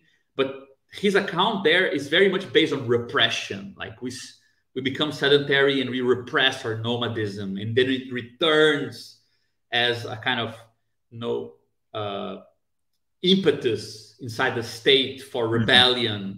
And then this impetus becomes religion, and this impetus of religion then returns as philosophy. It's a whole history of returns of the repressed and things like yeah, this. Yeah, yeah, yeah. Let, let, very psychological yeah. and and you know. Yeah, yeah. I, I I'm surprised that you don't like that because this is where he makes the reference to Ernst Bloch, and uh, um, Bloch as a great theorist of mode D, and using using a kind of Freudo Freudo Marxist concept of the of the drive of D, and even just to quote from. Um, structure of world history, he says, strictly speaking, mode D is not a mode of exchange because mode D is a drive to supersede the modes of exchange, whether that be A, B, or C. So you see, this goes back to my question, which is okay, mode D emerges as world religions, and there's a specific historical moment for this, just as there's a specific moment for the emergence of B, for example, and C. Yeah. No, no, no, no. Oh, for him, all modes exist all the time. There's no birth of any particular. Uh, okay, but that, but but I don't understand the logic of D then, because how can D, um, how, what I, the passage I just read, how does that square with your argument that actually D is not, or that D is rather a, a feature of the current stitching of the four modes that we live with today? I didn't say why. Why did I say that? That, that D is a current feature of the. Well, it, it, ha- it would have to be, wouldn't it? No, I'm, I'm following Karatani. I don't uh, agree. Like I, Karatani says as much. He says a that uh, all modes exist from the beginning. Just the dominance of each mode requires further development. So mode B is in, in uh, uh, how do you call this? Potentially already, let's say, virtually existing within tribe societies, which is, let's say, Pierre Clastres' claim, right? Societies against the state, even societies that didn't have the state, they were working against the specter of that accumulation of inequality and status and so on. It's not like it didn't exist. And mode C already existed in those societies as well. So he doesn't claim modes are invented. He claims they're right. all there, because, but he gives because, the prehistory of them out of nomadism right? Mm-hmm. And then he takes this idea, two ideas. First, nomadism would be a society where we don't accumulate, gifts are unreciprocated because, you know, if I accumulate a bunch of apples and I cannot eat them all, I'll just give it to you. You don't need to give me anything back. Like I won't lose anything by giving them to you. So he suggests that you have like a proto mode D before mode A, which is already a lot closed, consistent logic of reciprocity gift giving as a form of power. Does one thing that he does that is really good is that he doesn't romanticize reciprocity in gift giving. Gifts are a form of power. I mean, everyone knows that if you get like a really expensive gift from a friend, it's kind of annoying because now you owe them something. You know, gift, I mean, being in debt is not that much of a problem. Like sometimes being in debt to someone else is creating a bond that's crucial but it is a form of connection and ties you to the other. You can depend on somebody because they gave you a gift. So it doesn't turn it into this romantic, you know. So then, then, then what is then what is this whole thing with the death drive of D? What what is? This? Yeah, that's my point. Like uh, that. That's where he's. You don't like you don't like you don't like this whole thing. No, I find it all crap. Personally, I, I, it, I knew it. I knew it. I always said this. Love, like, that's not... what I love the most about it. It's such a beautiful speculative. Uh, yeah, because you like you like reading stuff. I I I'm tired. What do you dislike about it, though? Really, what is wrong with? Yeah, this? I mean, my I mean, okay, now we're moving. I, I, just wanted to make sure we presented everything before we yeah. we criticize it. So just to conclude, before I say what I what I dislike about it, so he will give us a theory of you know nomadic societies that become sedentary. This establishes a kind of necessity of a social cohesion that's separated from just an intercourse with nature that is more fluid.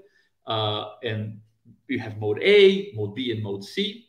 Uh, and then you have the specter of this nomadic, free form logic that returns from time and time again. And I think this is what you were referring to before when you said mode D looks like a mode of like a vanishing mediator, because he will say between mode A, dominance of mode A, dominance of reciprocity, dominance of the state, you have uh, the compulsion of of gifts giving, which would be, let's say, the, this kind of specter of mode D. Then when mode B reappears uh, uh, or, or becomes dominant, you have this sort of critique, immanent critique of the state that emerges with prophets and ethical religions and mystics, and that is slowly, let's say, turned into monotheism and other world religions, which would be this weird conciliation between the state logic and this kind of logic of transcending the social itself, which would be at the kind of origin of nomadism, right?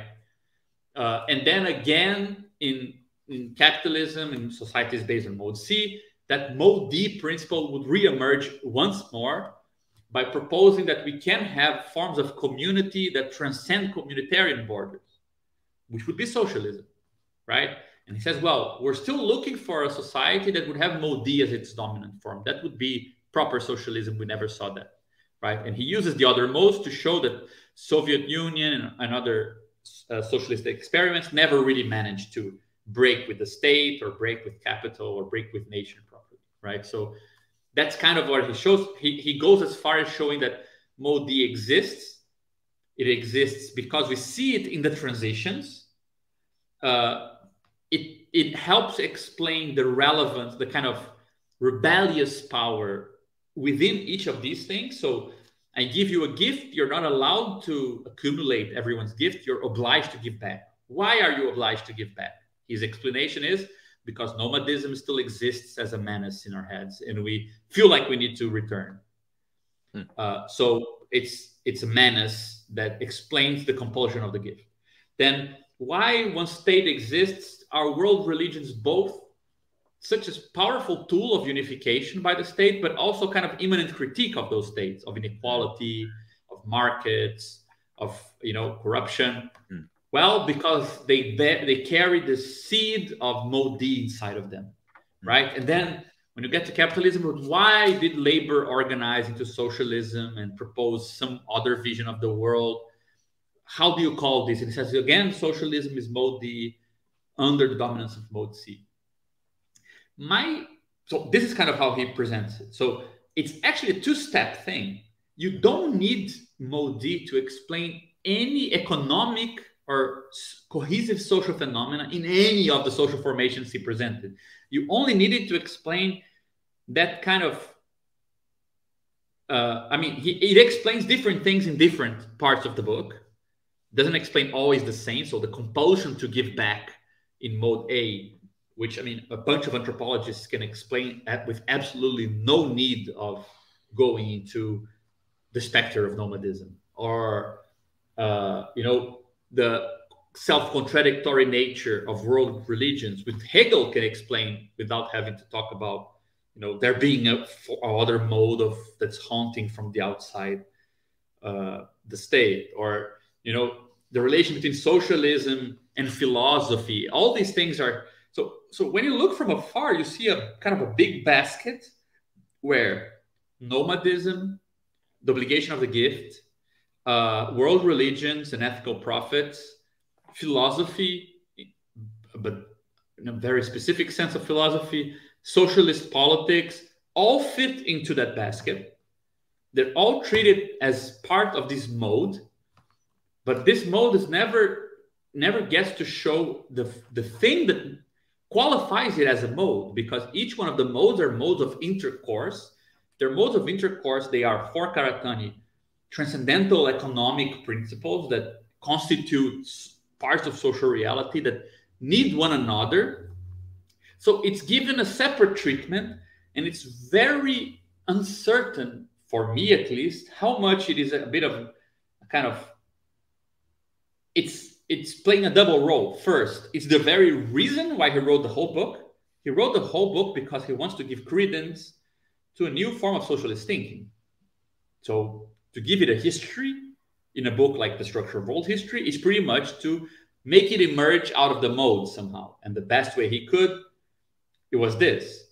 A big parenthesis here. This is for me to prove, uh, the only point where I think that his relation to Derrida, his relation to French structuralism and, and to psychoanalysis remains limiting because rather than make organizational analysis, like the best moments in structure of world history in terms of mode D is when he talks about cooperatives, joint ventures, like proper collective experiments that have economic power of binding together real, social reality in a new way.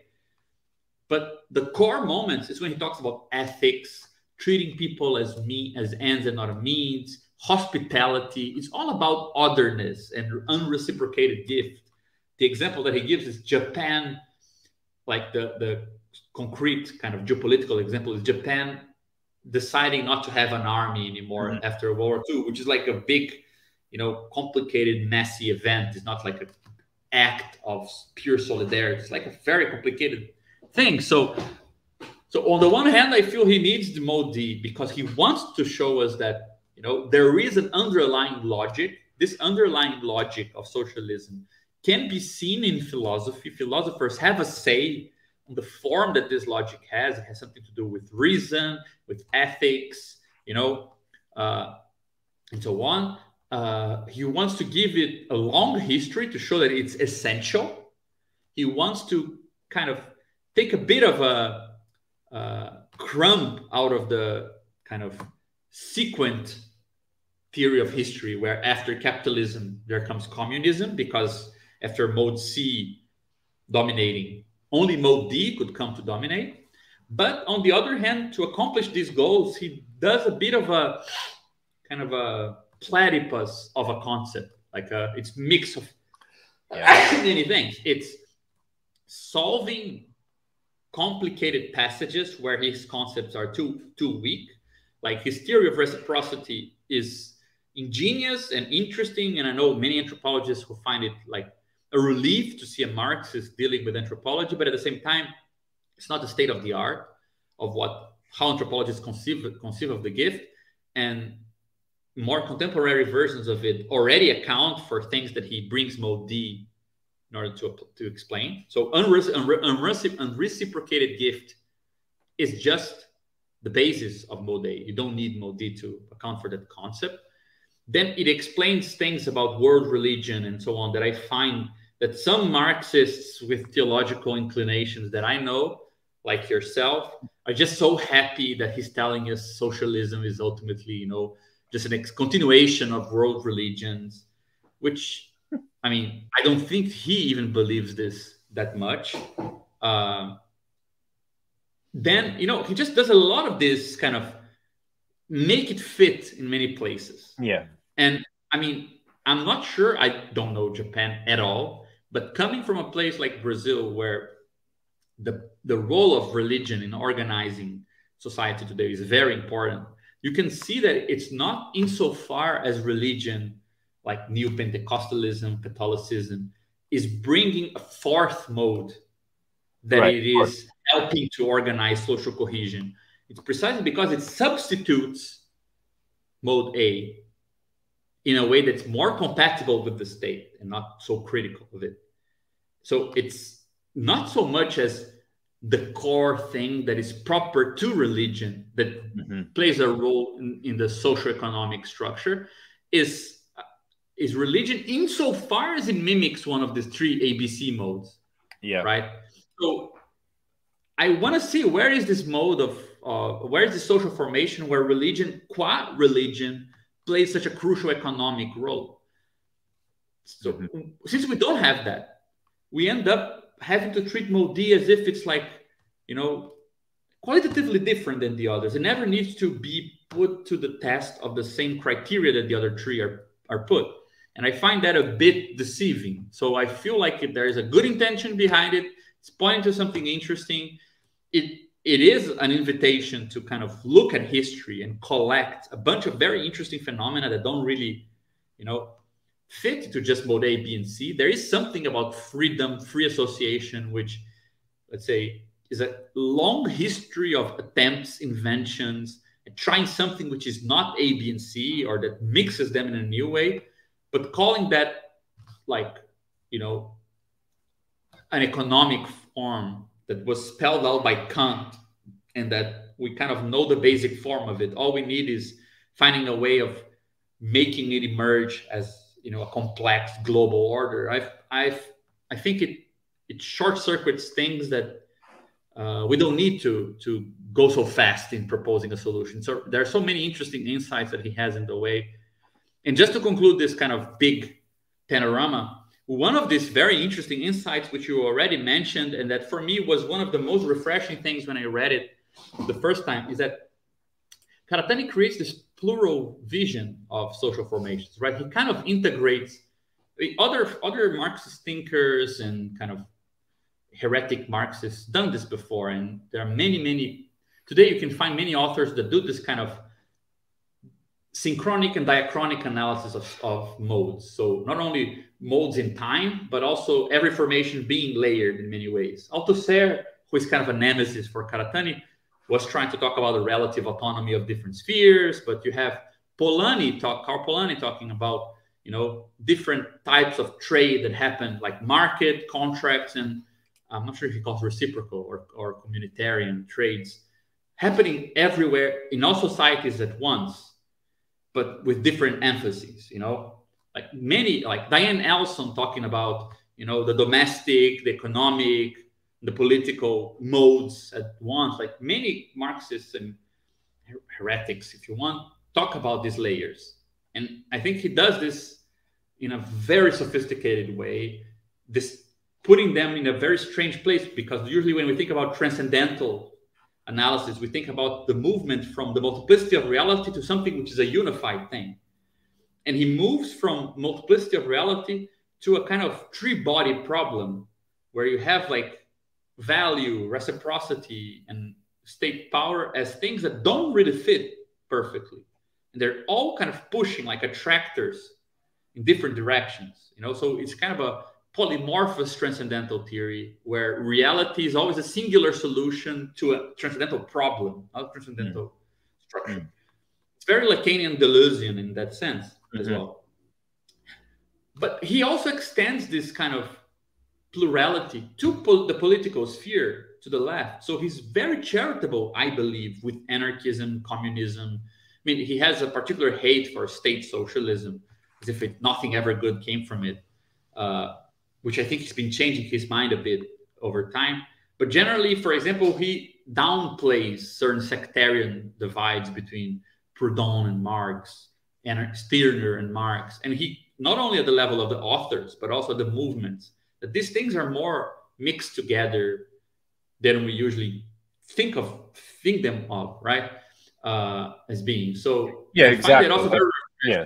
Yeah because he in a way like yeah marx could write uh, the poverty of philosophy but in reality the confrontation with both utopian socialists and anarchists taken on the whole uh, actually performed a type of bracketing on the question of the state for Marx himself, which only Karatani could recognize by reading Marx in the way that he reads him in that sense. So there, therefore, then you can erase the history of those polemics and those sectarian texts of back and forth between Marxists and anarchists because uh, they don't point to something which is vital in a, a broader historical sweep of understanding. It's kind of like a secondary piece of history in some sense, right?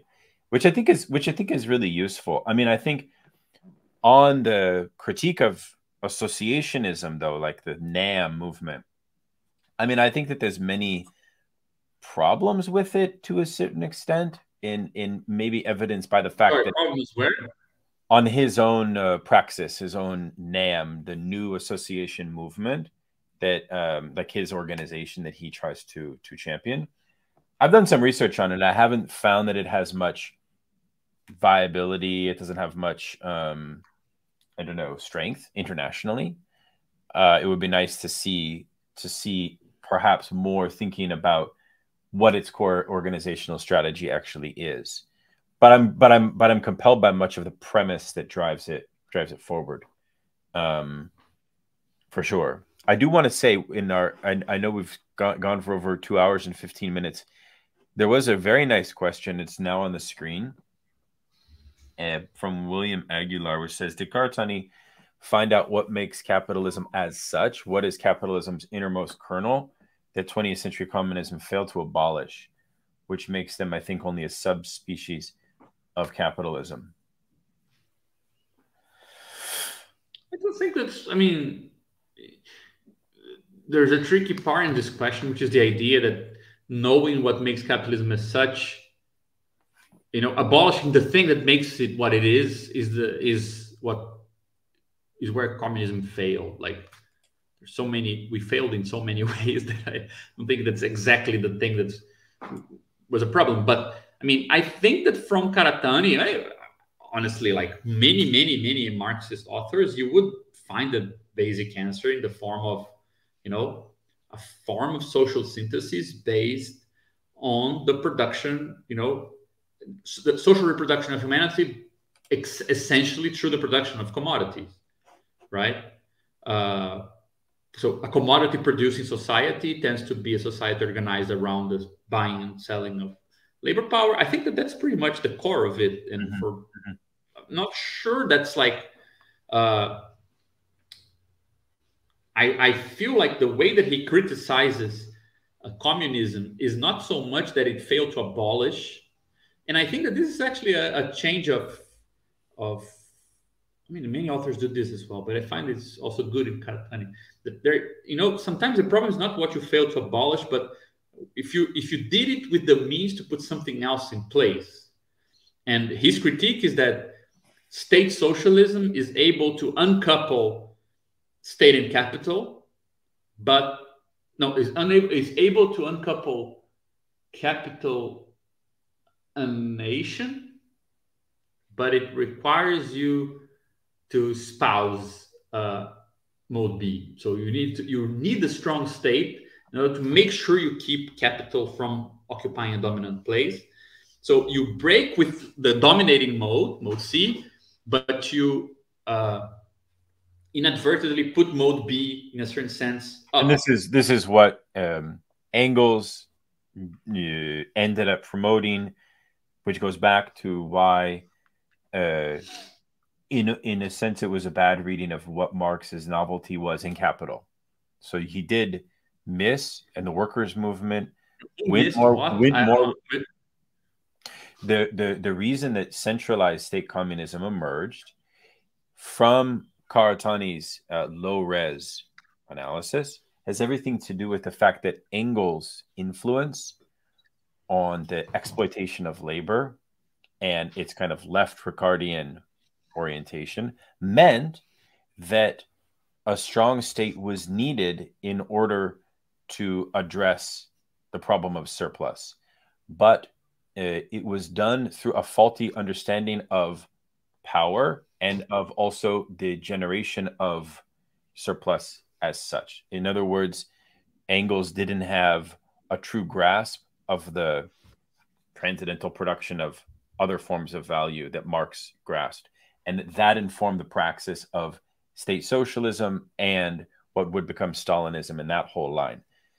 So yeah, that's I mean that's his critique of Engels. And he says on many, many occasions that Engels is the one responsible for centralized state communism. Yeah, I mean, uh, if you guys read Transcritique or even uh, Structural World History, it's amazing how much he, every time he doesn't like something, either Althusser or Engels were to blame, even though they're the two ones that look the most like Karatani. Like, I'm sure it's a neurotic problem because if somebody's trying to rewrite, you know, the origin of state, property, and family, that's Karatani. Uh, and if somebody's talking about relative autonomy of different spheres, that's Karatani. So he probably criticizing his rivals in a way. And it's not a surprise that he's going back in the new book on power to Engels, who insisted on yeah. the centrality. But I mean, I would say that there. Are, again, so there, I would say that there's this kind of scarecrow discussion of Engels, which I honestly, I mean, every time somebody explains the failure of a huge social system based on reading something, I don't know what to do. That sounds ridiculous to me. Like, you know, how can you be a materialist and say people are screwing up socialism because of how they read people? If they had the problems, they would read them right, probably, I imagine, you know, if social being determines social consciousness. But one thing he does say is that we didn't have the means, and I think you can historically explain this and not just theoretically explain this, to realize the autonomy of state with regards to, to, to production and capitalist commodity production base. To the sense that there was a strategic point of view in uh, Soviet Russia that by um, dismantling or reconfiguring the productive sphere, you would by necessity already dis- destroy or change the state sphere because one thing would depend on the other, like an edifice, right? I don't need to redo the penthouse if I'm destroying the basement. Once I destroy the basement, everything falls. But it doesn't, right? And you can have like a, a status based class of politicians and you can have a, a, bureaucracy and things like this that acquire a big power. But you can account for this without talking about how you read Engels. You can talk about this in terms of it we never have been in that situation. There has never been i always think that this is the best argument for all these things. Like guys there has never been before this 1917 moment a government where we had any chance of having proletariats or even like underclasses in power. It's not even proletariats like What's the other example of trying this out? We never tried it out. So there were many things we didn't know, including how to deal with this autonomy of these spheres, because you could imagine that they were more dependent than they were. So I can see this kind of having more charitable explanations than the Engels read read something wrong or something like this. Sure. But in any case, I, I would say that perhaps we can change William's question a bit and say that the whole problem is that you shouldn't be looking at what's essential about capitalism in terms of a logic because what's essential is that it is a composite of logics with one of them as a dominating one. Once you look at it in this way it's like a, a one of those megazords in japanese movies that are made of many different parts. If you cut some of them like yes you cut the big thing but the parts have some autonomy of their own you know? Yeah or like a Medusa thing. So uh, this kind of multiplicity principle behind the thinking of social formations allows you to realize that even though these things are highly integrated and highly dependent, you can even move or change the dominating principle. That doesn't mean everything will wither away with it, right? Mm-hmm. Things have some autonomy. I think that there is a lesson about this problem there that perhaps it's a better way of framing it than in terms of what's essential, right? But I don't know. I'm not sure if I answered your question. And there's another. Yeah, there's one from Andrew, which is um, something about um, Kantian associationism. Um, can that ethics work without the persistence of institutions um, that Hegel claims as essential? In other words, the claim is is that in fact associationism is meant to wither the state. That like it's it's composed of of kind of localized alternative forms of exchange which are not reliant on reproducing C at a higher level, but reproducing their own gift uh, models locally, which would not then, um, which would then prevent C from coming in um, from on high, as it were. Yeah. So they're meant to mitigate the dominance of C. And his, I, that's how I read his question and his his question would be is something like that even possible in the nation state capital? Uh, uh, can I just say something which is uh, just to separate uh, just because Andrew's question reminds me of something which I think it's useful. Again this is not in Karatani but I I think it's a direct development of it in a very nice way which is I mentioned to you guys that you can think of each mode as having a sort of I don't want to use the word negative because negative implies perhaps negation, but negative in the sense of destructive or critical phase, right? Mm-hmm.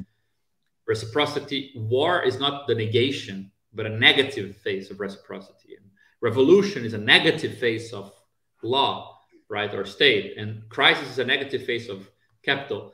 And Karatani talks about these modes interacting, but he only talks about the interacting in the positive phase side. So capital inter interacts with nation that interacts with state. But nothing prevents us from imagining the dark version where crisis interacts with revolution that interacts with war. And this forms a stable social formation. That's Brazil. You know, yeah, I was going to say perpetual revolution yeah. of institutions, yeah. constant crisis, so that you can pass on austerity measures and blame everyone for it. Yeah, huge unempl- chronic unemployment and a civil war with your own population. Mm-hmm. In the states, you can go to war with you know everyone else, but this is like you could you could write a little uh, a book called Dark Karatani and just sort of yeah, just yeah. So, like, but like, it implied there. The, so, yeah. uh, I mean, the, I I know Daniel loves the Bonapartism thing because you know it's it's your thing, Daniel. But uh, there's more under the sun in terms of terrible forms of things getting bound together then so uh, I would I would already go with the dark Bonapartist version to separate historically the two things, which is always a good thing, you know. Uh, I don't think so. So that's just a point. And the second point now under yeah. this uh, yeah. proviso is that uh, again, you see, this is the issue. Like, yeah, Kantian associationism. That's not Karatani's idea. Like, he does claim that you see a, a glimpse which I also think that there are better thinkers to explain why modern philosophy is kind of, you know, not an opium of the people, but an opium of the socialist. Of you know, it expresses the suffering of the socialist for a form he doesn't know how to implement.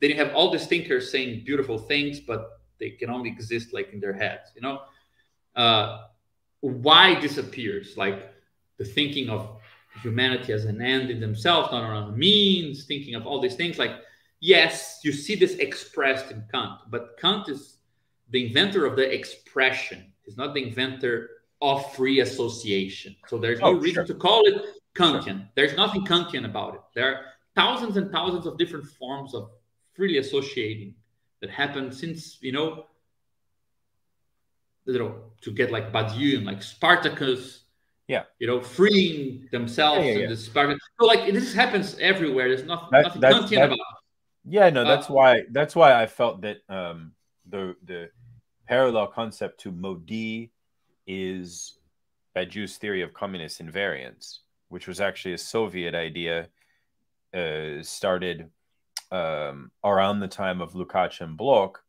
in like the 20s where they were starting this kind of historical work and um, I think Karatani should be read in line with some of those socialist inquiries as well. Okay, okay, fine. I mean, I, I, I, I told you this many times. Like when when something like this is at stake, yeah. it's obvious that the best way to deal with it, in my opinion, is if you're engaged in a political movement, you will reconstruct the political history in a way that's favorable. So, which is fine, which is what you should do. Mm-hmm. That's not the same as saying it is a transcendentally guaranteed thing. Like these days, uh, because of the work we've been doing on Karatani in like this subset of theoretical practice, this research collective, we've been working a lot on Karatani. I can today I can provide an explanation which I find very convincing as to why there are three modes, like a logical explanation of why there are three modes. Uh, I cannot do it with four, and as I try to show today, there is no property of what we call mode D which is of the same quality of the properties that we describe for the other modes. So yeah, why call it a mode? You know, so it doesn't look so much like a closed mode with a logic that's pure right. in itself right. that you abstract from reality. I think it's something else we're talking about. I agree. So, I agree. Even that, just to go back to Andrew's question, like I don't see why this Bonapartist, Trumpist, destruction of institutions. Like when you look at Kant, Kant talks about law, normative principles that are rendered explicit and acknowledged by reason and so on. Like, yeah, there's so many historically specific things to his formulation that I agree. These specificities are not here. You know, Kant would probably roll in his grave if he know knew what what respect for an institution, respect before the law has become. So yes, if we associate this too much to Kant, then it looks like anachronistic. But we don't need to, and I don't think Karatani makes such a big case of this. What he does suggest is that uh, I feel free association. Uh, my my impression is that if you want to find like the basis for this, you should would be better to look not for uh, you know what he has to say about, about Kant, but what he has to say about cooperation. Mm. Uh, and I think that it, I mean it's no wonder that Jameson is so in love with the chapter on cooperation from Capital. I, I find that to be uh, you know the coolest formulation of generic that Marx proposed. Like the only place in Cap first volume of Capital where he talks about you know generic being very briefly, but this idea that people doing things together they produce a surplus that doesn't belong to anyone. I find that idea of a kind of surplus of the collective over the individuals the core idea behind free association mm. uh, because it's free in the sense that you organize as you please but that's not really the essential part the essential part is that the association is free from the people who are associated in a way you you produce something that the form of that organization has some autonomy over the people that were organized, but we are allowed to serve ourselves of that excess a bit, right? You don't eliminate the excess by doing what you please, but you get to, let's say, become, let's say, strange from it in a productive way, rather than it being co-opted by by property and com- commodified forms. Regardless of that, just to say that I would I don't think you need to have such a specific formulation of what free association means that would uh, make it anachronistic to talk about it today. In fact, I would say the opposite. I tend to think that when you think under that line, which I agree, I'm introducing here from nowhere, right? But when you think that free association is more concerned with producing or creating in such a way that the estranged products of your collective action, you still are responsible for it. That that formulation implies complexity, meaning emergent aspects that you didn't uh, kind of prepare for, right? And responsibility because you need to answer for those collective effects. That's the sort of thing we need to deal with climate change, that you need to deal with a world that is so big in terms of information that you can't really see everything and plan and have a clear picture of the world all at once. It's very much contemporary as fuck, you know. So uh, it's implied in a lot of what Karatani is saying, not clearly developed, but I tend to think it's the best place to pull if you want to find a common thread that also binds him to other interesting contemporary thinkers and so on. Yeah.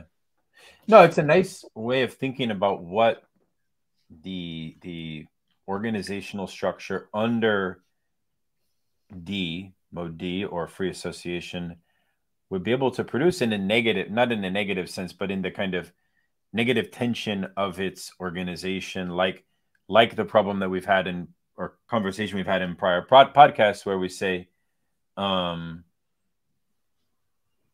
if a socialist collective is organizing um, on principles uh, that adhere to some of these logics of free association and things, or introduce new forms of equality of relation amongst themselves, they're going to produce new problems which will be different than the problems they might experience at the job or the workplace or ordinary capitalist institutions. And that those problems are what's novel about what's produced. It's not some carnival or some celebratory free association. Yeah, I think another another interesting reference for this, which was a reference to a really amazing text, which I think can be read into this discussion very easily by a mathematician who writes under the pseudonym of Aurora Apolito. She wrote a text called uh, Anarchism, the Scale Problem in Anarchism and the Case for Cyber Communism, something like this. She's oh, a, yeah. a brilliant mathematician, and she writes about this. And in this text, she quotes a study uh, that was done by quantitative historians, quantitative like sociologists of quantitative uh, data about you know. So this, there is this SESHAT, I don't know how to pronounce it, database of a bunch of polities throughout history, and they cross-reference a bunch of parameters to try to understand like patterns between societies and so on. And they published a really cool paper, which I forget the exact name. We mentioned it when we were studying the study group, uh, called Information and Scale Threshold in the Holocene, something like this. And they show there is a correlation between these two parameters, which is the size or scale of societies and their capacity to integrate information throughout that polity, that, that society, right? So if you're a small society, you don't need a very complex or, or, or even sometimes the contrary, you can have very complex social systems because there's very not that much information you need to store. So you can have complex relationships with one another. For example, reciprocity actually gives rise to almost fractal like complex social relations. But you don't need to know the name of like thousands and thousands and thousands of people that you barely interact with through a social network. You can things are a bit more restricted. So to integrate the information about the society of that scale is different. And uh, with certain informational means, societies can scale up to the point that the very informational means that allowed us to scale up no longer can integrate the information of that larger society. And then you need either you develop better informational tools or you collapse. And they show that there is this interaction between the two things.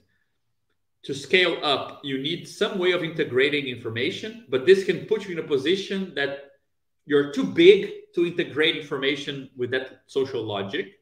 And then either you develop a new one and new technologies and continue to grow, or you disappear.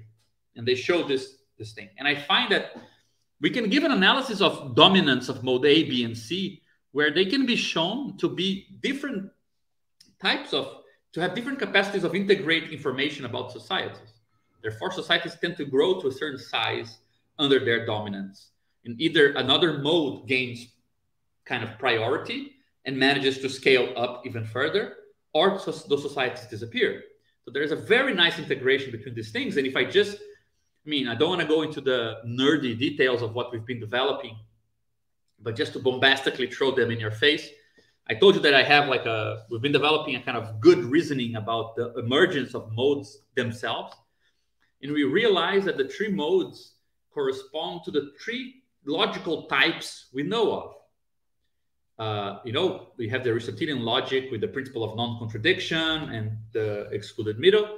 Well, if you if you keep keep it like that, you have classical logic, which is pretty much the logic of state. The logic of property is the logic of uh, either agreement obtains or an agreement doesn't obtain. Either I own something or I don't own something. You cannot kind of own something, right?